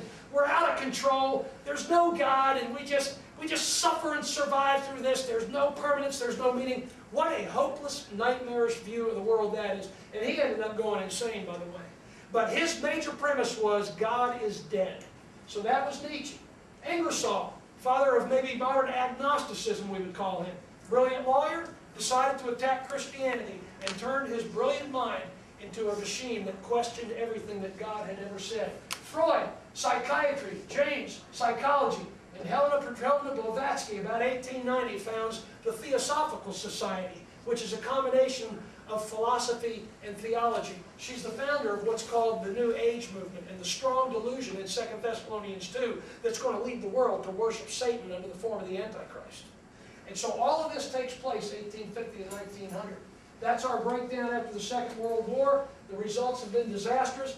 This side of the equation, the left, leads to mediocrity, misery, misery, war, death, destruction, human suffering, and eventually a world government without God that culminates under Antichrist.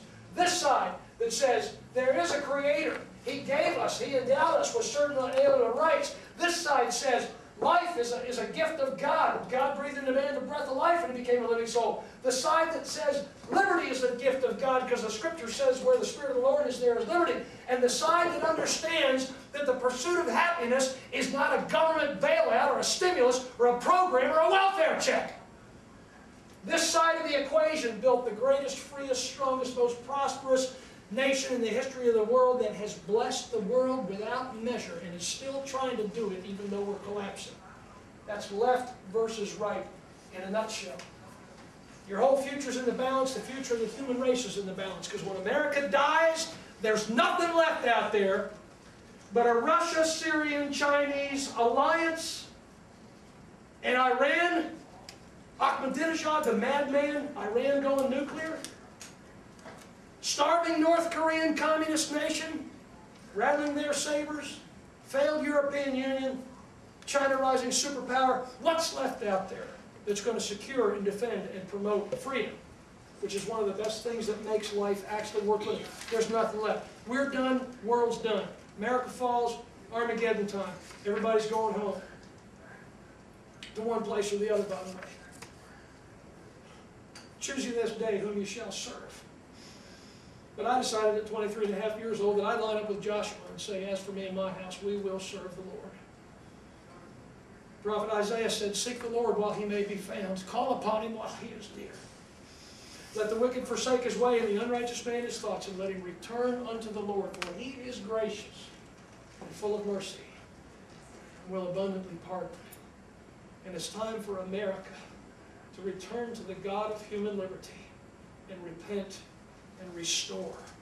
Common sense, godliness, and truth. All right, I'm going to shut up. You've been a good audience. Questions on anything, doesn't even have to be something I covered. Anything. Yes, ma'am. Uh, so like you wouldn't blame the right for any of the, for causing any of the stuff that has been going on in America now? Like you just blame left and Obama? No, I, I tell you, I tell you what the right did to us along with the left in the House and Senate during the nineties. They are partly responsible. Congressmen get bought and sold by lobbyists, okay? And so the trade agreements that began the exit of American manufacturing that is in part responsible for the joblessness that's out here now, yeah, I, I can discredit the Republicans for that because a lot of them, and even including Rush, was pro-free free trade, and a lot of the guys that, that uh, we considered pretty smart, uh, they went for this free trade business. I mean, they did, and so it's not all their fault, but we've woken up, we realize we're failing, we realize we're jobless. Housing is gone, therefore construction is gone. We're enslaved to Saudi Arabia and the OPEC countries for our oil supply. We're dumping $700 billion a year into the coffers of foreign powers that hate our guts and want to see Islam rule the world and America, the great Satan, destroyed. So we're waking up. The right is not totally without fault, but, but the difference, the, the difference is right here. And I have a whole other chart that I didn't get on the board, but the right is basically, even though some of them are stupid, okay, some of them are, some of the pits and can be bought, but the right is basically about the work ethic, strong military, strong national security, tight borders, capitalism, okay, and and even blessing the rest of the world by trying to fight for freedom somewhere else, you know. And the left is no problem with killing the unborn child, totally in love with Mother Earth and the mosquitoes and the spotted owls and the snail darter fish, crushing business and industry through green regulations that make it impossible for us to rescue the economy by employing anybody, and, and, on and on the list goes. So the left has gone, the political spectrum has shifted both ways, okay? You're right. Hey, look, and I'll tell you what, since you asked that, uh, I'm not a born-again Republican, okay? Not by any stretch, okay? I'm like Hannity, you know, Hannity will say he's not Republican, he's a conservative, okay? Well, that, that's where it is, okay? And uh, I suppose of the choices we've got left, you know, Santorum would be my first, Gingrich would be my, like, 1.5. Uh, I don't care for Romney that much, but the Mormons love America, so I'd much rather have a Mormon that loves America in there than a leftist communist that's destroying capitalism under Obama. See, I'd rather have one of them, but they're not perfect, and none of them are perfect. I'm not, I'm not saying that they are. But the fault of the left is just a total disavowal of the miracle of America and that we need to continue to be the superpower because we are the guardian of human freedom on the face of the earth. And it's been nothing but weakness and military cutbacks, slashing the Pentagon budget, and it's all about social programs, bailouts, and stimulus and entitlement programs, which have now brought us to the point where we are $16 trillion in debt. Nothing's going to fix that, and yet Obama keeps wanting to empower that pathetic bunch that supported him, who is composed of the PETA people, the NAMBLA people, the GBLT crowd, the unions, the socialists, the communist revolutionaries. I mean, the constituency of leftism is as un-American as anything you can think of. The constituency of the right is basically business owners, small and large, and farmers, people that are tied to the earth, being naturally more inclined to be tied to God because of weather having an effect on agriculture and things. I mean, the right is entrepreneur. The right are people that strive for excellence and want to do better and make a better salary and invent a better product and competition. You know, I mean, there's great differences in the left and the right. So we're being cooked. We're, we're like a frog in the kettle. We're being boiled alive. We're done. And so Obama's got to go because all of his appointments are communist revolutionary sympathizers out of the 1960s. And I understand Bill Ayers is coming. So uh, you listen to him and ask him to try to justify all the treachery that's going on now. He's got a whole different view, you know, of the world. And he ought to be in prison, and he got off on a technicality because the prosecutor screwed up when he and his Weather Underground bunch bombed the Pentagon and killed a police officer. I got no patience for idiots like that. And by the way, Obama's campaign for Illinois Senate started in that guy's living room, Bill Ayers, that's coming to talk to you. He's a creep, he's a communist. He's a left-wing revolutionary that's overthrowing the United States. He's coming to talk to us. Yeah, that's what I heard, somebody said that. Yeah. Uh, Fire him up, man, fire him up when he gets, not, yeah, go ahead. Okay, so you obviously did not like Ahmadinejad. Uh, what do you suggest we do about it? It's not a matter I don't like him, he's insane, okay? I don't like insane people, so I'm saying. Okay, no, a couple years ago, listen, Ahmadinejad let it out of his mouth. He said to the whole world, he's spoken at the UN several times, okay? He said, we will gladly trade Tehran for Tel Aviv. What is that? Tehran, Iran. He would trade cities. He would swap cities just to destroy Israel. Okay? Um, I, I don't know if I said this in the beginning of your class, but you know, Islam has been on a warpath against human freedom for 1,400 years. It's not just Ahmadinejad. It's not just bin Laden. It is a worldview. It is a mindset that they have that says the whole world is going to bow to Allah, and if you don't uh, like it, we're going to kill you. Okay? And so, creeping Sharia is coming. It's already taking all of Europe by fear. It's in even in the courts of England. The Archbishop of Canterbury last year said at some point uh, we will have to incorporate some facets of Sharia law into our courts just to keep the peace. That is insanity because Islam is about world conquest. It's about Allah's way or no way, and we're all dead.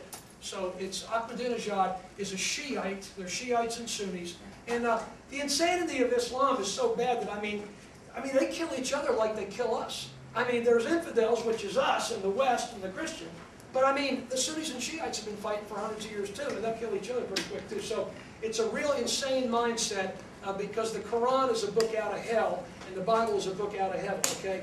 And I feel sorry for Muhammad, but I'll tell you, he had a terrible upbringing. He was shoveled off from relative to relative, uncles, grandparents, you know. He was totally illiterate, couldn't read or write, and had some visions and revelations in a series of cave experiences that we're supposed to believe God delivered this book by which all humanity is supposed to live. And it's done nothing but make war against human freedom for 1,400 years. So it's very serious, and it's not that I don't like Ahmadinejad. He's the madman of the planet at the present time, and he's going to be the author of World War III if somebody doesn't stop him. And we should have bombed the nuclear facilities and disabled them a year and a half, two years ago. And we're not going to do it under Obama, and now it's almost too late to do it. And if Israel, here's the dilemma. In the 10th point of your outline, I think I put on there Israel's dilemma. What's the last point on the last page, number 10? What's number 10? Maybe number 9. Uh, eight. 8? Israel's dilemma? Read over number 8 on the outline when you get it, if you access it on the website or whatever. Roman numeral eight, Yeah, Roman numeral 8. Middle East conflict, Yeah. four thousand years old. Yeah, read that over because, not you, but, but uh, it's a no-win situation. The Middle East is fixing to go up in flames, and Islam is the author, and we should have stopped and we hadn't done it because we're, we're weak. So anyway, God's the author of human liberty. Christ came to set men free.